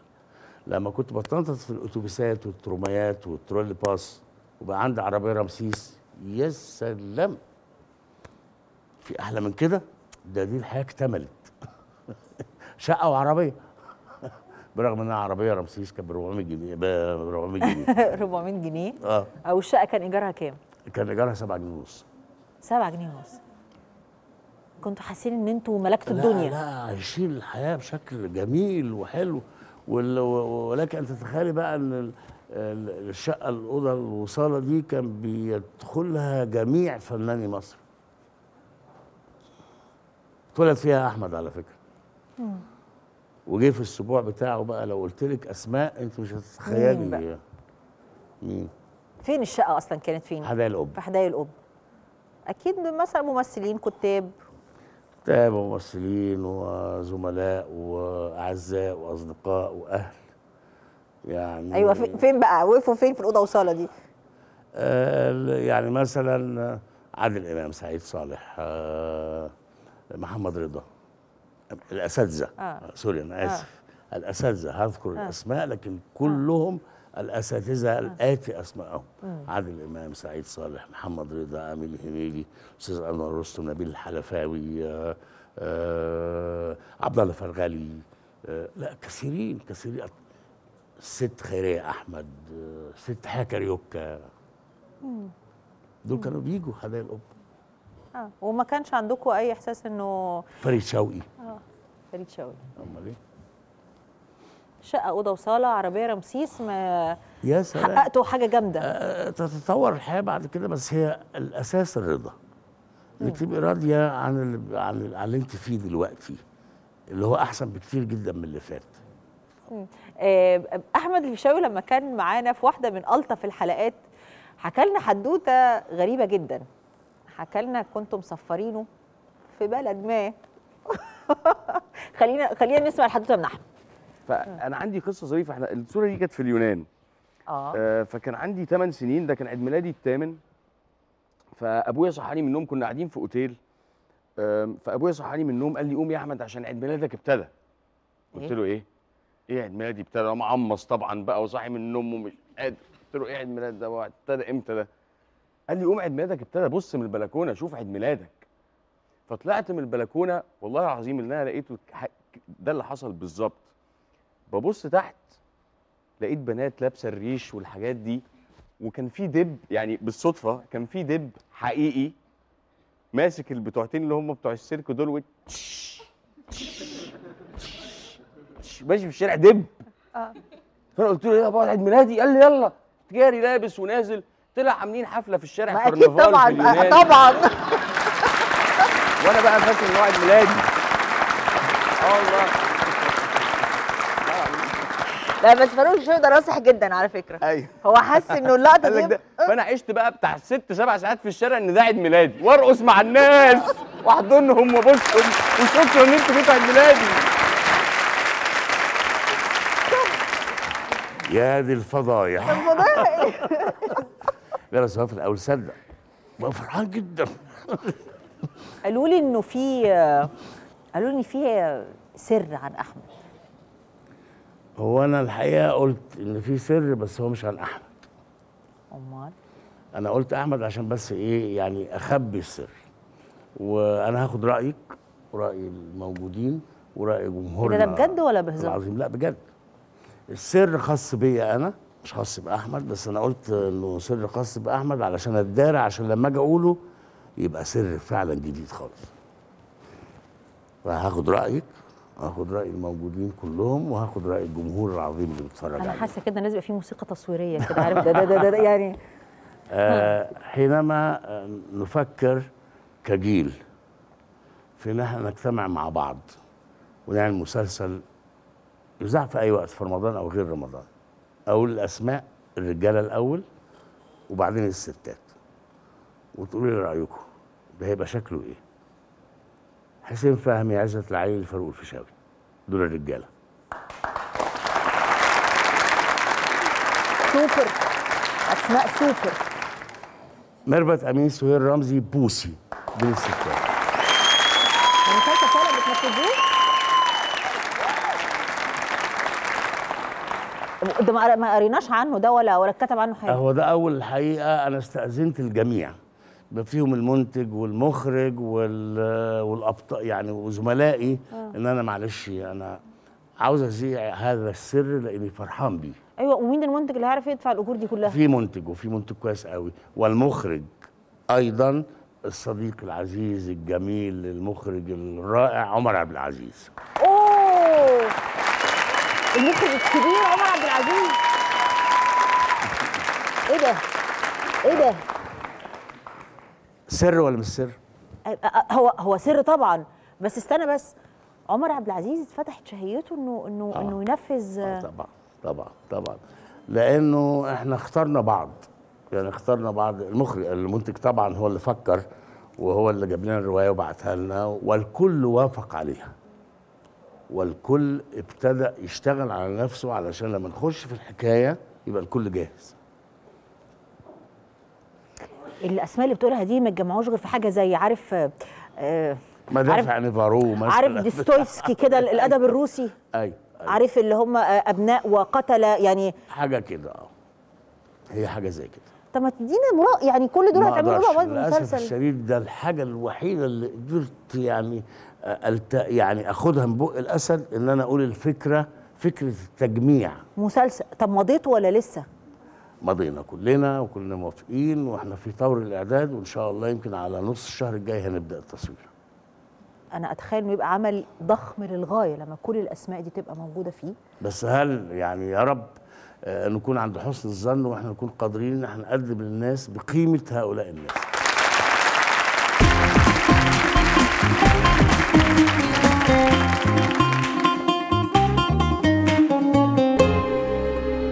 بدل ما تصرف فلوسك على الكلام ده روح حج. انت رجلك والقبر يا كافر اعتذر عن هذا الفيلم. خلاف بينك وبين عادل إمام. اصحوا بقى. هيتخانق يعني هيتخانق. وههينه وهضربه ما أقدرش ما اقولش رأي أي حد من دول ممكن تجننه قولي هو المشهد ده اللي أنا بعمل عشانه الفيلم. ما استأذنش حد بس أنا دلوقتي فهمت ما بين السطور. ده مش تعويض؟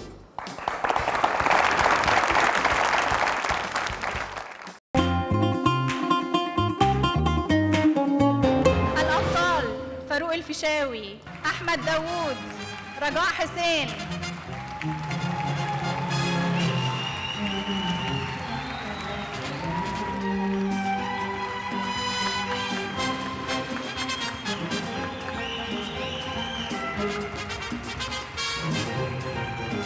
تحية كبيرة لأعضاء فريق عمل يوم للستات.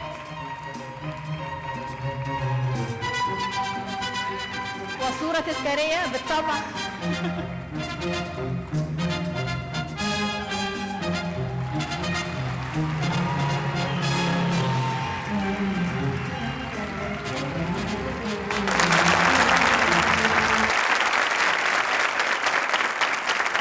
فيلم بقى يوم للستات انت زعلان بقى. آه، يوم ما تنكرش. انت زعلان. إيه؟ انك زعلان. لا شوفي أنا راجل كلاسيكي و... و... واعلم جيدا أن المخرج هو سيد العمل. بمعنى إنه المخرج هو له الرؤية الأولى والأخيرة في العمل السينمائي اللي بيعرض على الشاشة. يعني المشهد ده مثلا مش موجود في الفيلم. آه. خالص.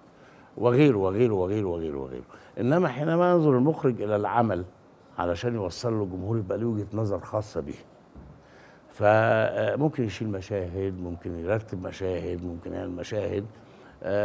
فأنا لأن أنا راجل كلاسيكي وبعرف قيمة المخرج وبعرف إنه أنا سلمت نفسي للمخرج فالمخرج هو الذي يرضى عن العمل في الآخر. مش مهم إن أنا أرضى عنه. موافقاك بس سمعت إنه المشاهد اللي اترمت أو اتحذفت واتشالت كان فيهم مشاهد أنت كنت حاسس إن دي أحلى أداء ليك في الفيلم؟ لا آه، يعني أنا هي تشلي مثلا لل- آه، المشهد اللي هو المشهد الرئيسي للممثل في الفيلم إن يبقى عندك مشهد أنت بتديله كل اللي جواكي بتديله بتقولي هو المشهد ده اللي أنا بعمل عشانه الفيلم. ويتشال كان مشهد كنت بتقول فيه إيه أو كان أدائك فيه إيه؟ ما خلاص الفيلم لا هي حكاية كبيرة جدا يعني. هو آه. آه اولا أنا ما تعرفش أنا أنا أنا أنا أنا بشتغل إيه في الفيلم مثلا؟ ويمكن من الحاجات اللي خلتني قابلت الدور الشغلانة جديدة عليا جدا. يعني دايما أقول لك الممثلين أنا بعمل دور جديد عليا. لا أنا عمري ما قلت الحكاية دي غير في هذا الدور. أنا بعمل دور مطاهر بيطهر الولاد. فده حتى ما بانش في الفيلم لأن الصنعة أو المهنة بتدي اتيتيود للشخص. يعني ما كنت يعني أنا مش أنا ممكن أكون زعلان شوية ما كنتش هزعل خالص لو أنا ما صورتش. لو قالوا لي لا إحنا مش محتاجين المشهد ده فمعلش هن مش هنصوره مش هنصوره ده كان يسعدني أكتر.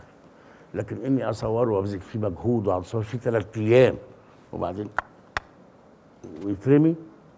ال- اللي ضايقك إن هو اترمى ولا إنه محدش بلغك؟ يعني أنت شفت الفيلم اتفاجئت إن دورك أنا مش؟ ضروري حد يبلغني ما أنا قلت آه. لك المخرج هو آه. اللي بيقعد لوحده في الآخر بيرتب الفيلم وبيطلعه للناس. ما حدش هيبلغني. لكن طبعا آه، آه، لما شفت إنه آه، ده كانت بقى اللقطة دي بعد الفيلم بعد ما اتعرض ولا قبل ما يتعرض؟ آه لا دي قبل ما اتعرض قبل ما يتعرض آه. هو هو فيلم محترم جدا لا هو فيلم أخد جميل وأنا آه. ب ب ب آه. يعني أنا بقول إن هذا الفيلم من الأفلام المهمة آه، دلوقتي في السينما المصرية لأنه اولا جمع مجموعة بسم الله ما شاء الله آه، هايلة وجميلة و و وإنه إلهام شاهين آه، لا شك إنها منتجة واعدة وواعية وإنها بتحب السينما قوي وصرفت فلوسها اللي كسبتها من السينما على السينما.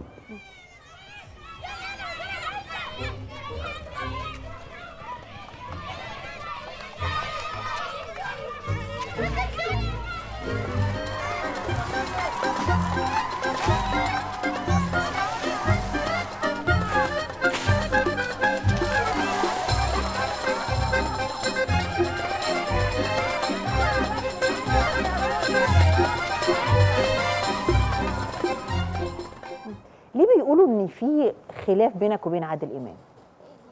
أنا في خلاف بيني وبين مش خلاف يعني لا هو مش خلاف. حينما تسألي عن شيء لازم تجاوبي بصراحة وبوضوح. في إحدى ال- البرامج سئلت عادل إمام بيقول إنه آه، شوفوا أفلام عادل إمام وأنتوا تعرفوا تاريخ مصر. قلت لهم أولا استحالة يكون عادل إمام قال كده يعني تاريخ مصر لا. لا ده تاريخ مصر أهم من السينما كلها وأهم من عادل امام وأهم مني ومن أهم من أي حد مثل في السينما المصرية. تاريخ مصر كبير وعظيم ومصر كبيرة وعظيمة. فلا يمكن إن عادل امام يقول كده. فصوروا هذا على إنه لما بلغ عادل امام زعل لكن ما أعتقدش إن عادل امام يزعل من كده اطلاقا. لأن أنا متأكد برضو تاني إن عادل إمام ما قالش كده. هو قال؟ كده. أنا قلت رأيي. ما أقدرش ما أقولش رأيي. آه. لأنه لما تبص بقى للأفلام. هي هي دي شخصيتك ما لا لا أصل لما تبص للأفلام يعني عنتر شايل سيف ومش تاريخ مصر. آه أنا مثلت معاه في ثلاث أفلام. غاوي مشاكل المشبوه آه حنفي القبهة دول مش تاريخ مصر. يعني كان أنا أول واحد هأعضد هذه الفكرة لو كان قالها. إنه فعلا عادل إمام يعني أفلامه تعبر عن تاريخ أنت مصر. شفته ان إن صح فهو مبالغة بالنسبة لك مش مقبولة. غير مقبولة بالمرة.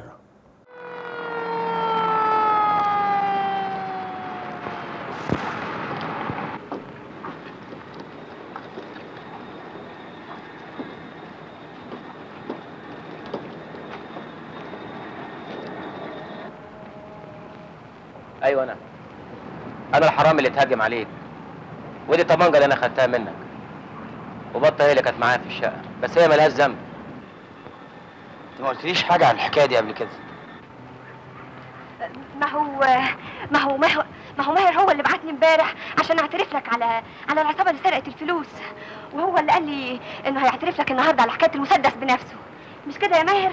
مش أنت بعتني امبارح عشان أقول لهم الكلام ده في الاسم؟ وأنت يا حضرة الضابط مش وعدتني إن ماهر هيبقى شاهد ملك عشان هو اللي أشهد عن العصابة؟ اديني جاوبت لك على السؤال اللي كان محيرك. أنا مستعد أدخل السجن تاني. حتى لو لفيت حبل المشنقة حوالين رقبتي أنا موافق. أنا مش هنسى إنك أنت نجيت ابني. اللي ماليش غيره. أنا أقدر أسامحك في الجزء اللي يخصني. لكن حق الحكومة ما أقدرش أسامح فيه. وأنا راضي باللي يحكم بيه ضميرك.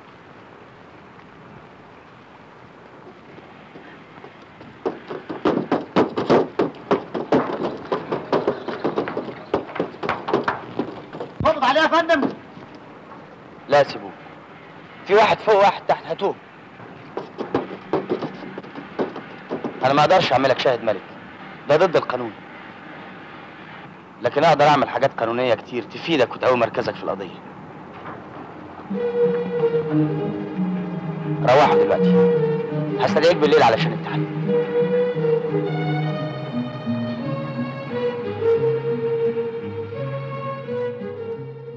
يعني على فكرة أنا أنا كدت إني أعتذر عن هذا الفيلم. ليه؟ لأنه يعني أنا كنت في البدايات عملت مسلسلات في التلفزيون آه، كان أهمها أو اللي قبل المشبوه على طول بابا عبده. كنت آه. بعمل دور الولد ال- الجاف يعني اللي هو بيحب نفسه أكتر من أي حاجة في الدنيا أنا وبعد يا الطوفان. فكنت عامل دور جاف جدا بس الناس ما كرهتنيش. لأنه الناس شافت إن الولد ده موجود في العيلة في الجيران في ولاد العم يعني شخصية حقيقية موجودة في المجتمع. فالناس ما كرهتش الشخصية. بس في الفيلم ده بقى اما جاني اتخضيت يعني معقولة. أكبر نجم في مصر عادل إمام. الناس كلها بتحبه. وأنا الفيلم هبقى ضده وههينه وهضربه وه... فالحقيقة قلت إيه أنا لأن أنا م- يعني ده. النصائح اللي نصحها لي. استاذي عبد الرحيم الزرقاني إنك لا تقيد نفسك بدور. اهرب من إنك أنت تعمل دورين متشابهين ورا بعض. إنك تعمل دور جافه وده الحمد لله تحقق لي بثقة المنتجين والمخرجين فيا. إن أنا عملت كل الأدوار. الشرير والطيب. أنت بتحب قوي عبد الرحيم الزرقاني. عبد الرحيم الزرقاني ده هو بيشكل لي حياتي. يعني شكل لي مستقبلي. خلاني متواجد منذ بدأت حتى الآن كما أنا بالشكل اللي وصلت اللي وصلت بيه للناس. وتفضل فاكر الجميلة دي العمر كله. سأظل ولن أنسى وأنصح بيها كل الناس. مم. إيه إيه, إيه البورتريه ده آه، يا ولاد الإيه.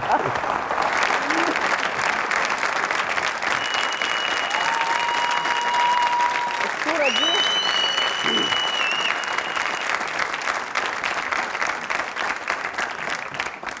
أنا أذكرك ب- باللي قلته في الأول إن هو قال لي أنت مش هتنفع حاجة غير إنك تبقى ممثل. وقعدت سنة كاملة أفكر. أنا راجل هاوي تمثيل بس أنا ليا أحلام أخرى. إنما كلمته قعدت تشغلني تشغلني وترن في دماغي وفي ودني وفي منامي وفي صحوي إلى إني تقدمت في المعهد وقبلت. وتبناني الرجل. تبناني وأول ما اتخرجت من المعهد اخدني من إيدي وعمل لي مسرحية بطولة طائر البحر لتشيكوف في المسرح القومي. استنى بس عشان النور مم. عشان إيه الدنيا تتقري. آه وده إهداء أهداه ليا بعد انتهاء المسرحية. اسمحوا لي اقراه يا ريت. هو فتح قوس وكتب إن الشيء المهم بالنسبة إلينا سواء أكنا ممثلين أو كتاب ليس هو الشهرة أو التألق وليس هو تحقيق أحلامنا وإنما هو القدرة على الاحتمال. فتعلم كيف تحمل صليبك وتحتفظ بإيمانك. وقفل القوس. ده كلام البطل بتاع تشيكوف. وزيله بكلماته هو بقى في ذكرى اشتراكنا بمسرحية طائر البحر. من إخراجي وتمثيلك الدور الأول بها وقد حققت نجاحا شهد به الجميع. سنه سنه 1900 آه.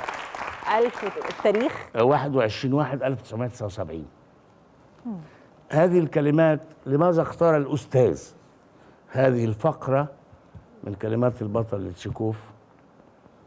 عشان يقول لي إن الفن مسؤولية. ما هوش مجرد حلم إنك أنت تحقق بيه شهرة أو تألق أو تعمل أو تتطاوس لأ ده مسؤولية. الفنان عنده مسؤولية تجاه نفسه وتجاه وطنه وتجاه ناسه وتجاه متلقيه.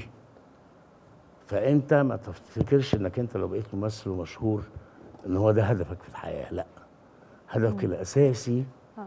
هو إيمانك باللي بتعمله. وفضلت محتفظ بالكلمات دي؟ لأن هي دي الدروس اللي اتعلمتها في حياتي. ده زائد بقى. هو كرجل من هو هذا الأستاذ العظيم؟ إنه هذا الأستاذ العظيم وأنا فسل صغير كده لسه جايبني من من إيدي من آخر سنة في المعهد بيعمل لي بطولة في المسرح القومي وبيقول لي في ذكرى اشتراكنا. أستاذ العظيم وأنا إحنا الاثنين مشتركين في نفس الشيء في نفس الوقت في نفس النجاح.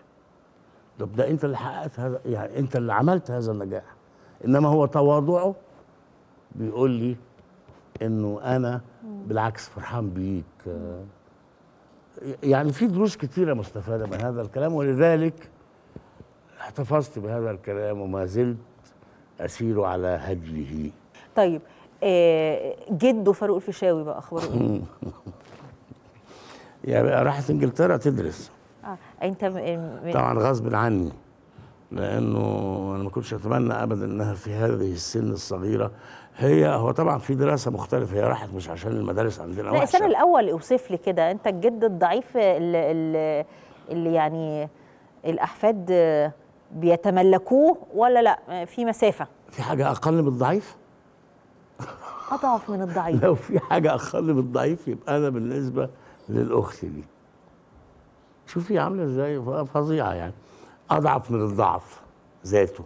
يعني أضعف مما كنت مع أولادك. لا أنا كنت مع أولادي جامد جدا لكن دي لا دي حاجة تانية خالص. شوفي هقول لك حاجة على فكرة يا أستاذة منى. آه يقال عز الولد ولد الولد. مم. دي عمرك ما هتحسيها خالص إلا إذا بقى عندك ولد الولد. ولد الولد ده بقى إيه؟ بيحسك بنوع جديد من الحب نوع آخر من الحب. نوع عمرك ما هتجربيه في الحب إلا في حياتك حد زي بنتي يا خبر أبيض. لا شيء آه شيء رائع شيء جميل. وما كنتش موافق إنها تسافر وتابع لا ما كنتش موافق.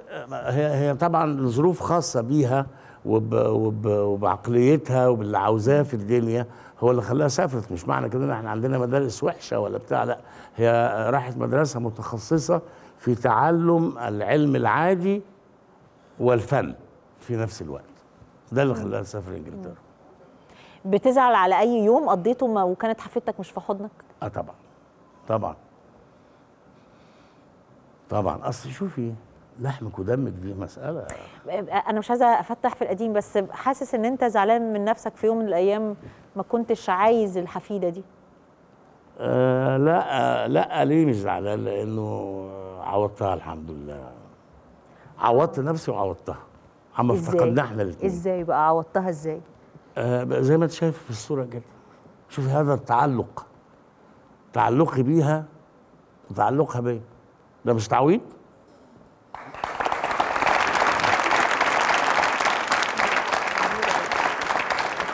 أيوه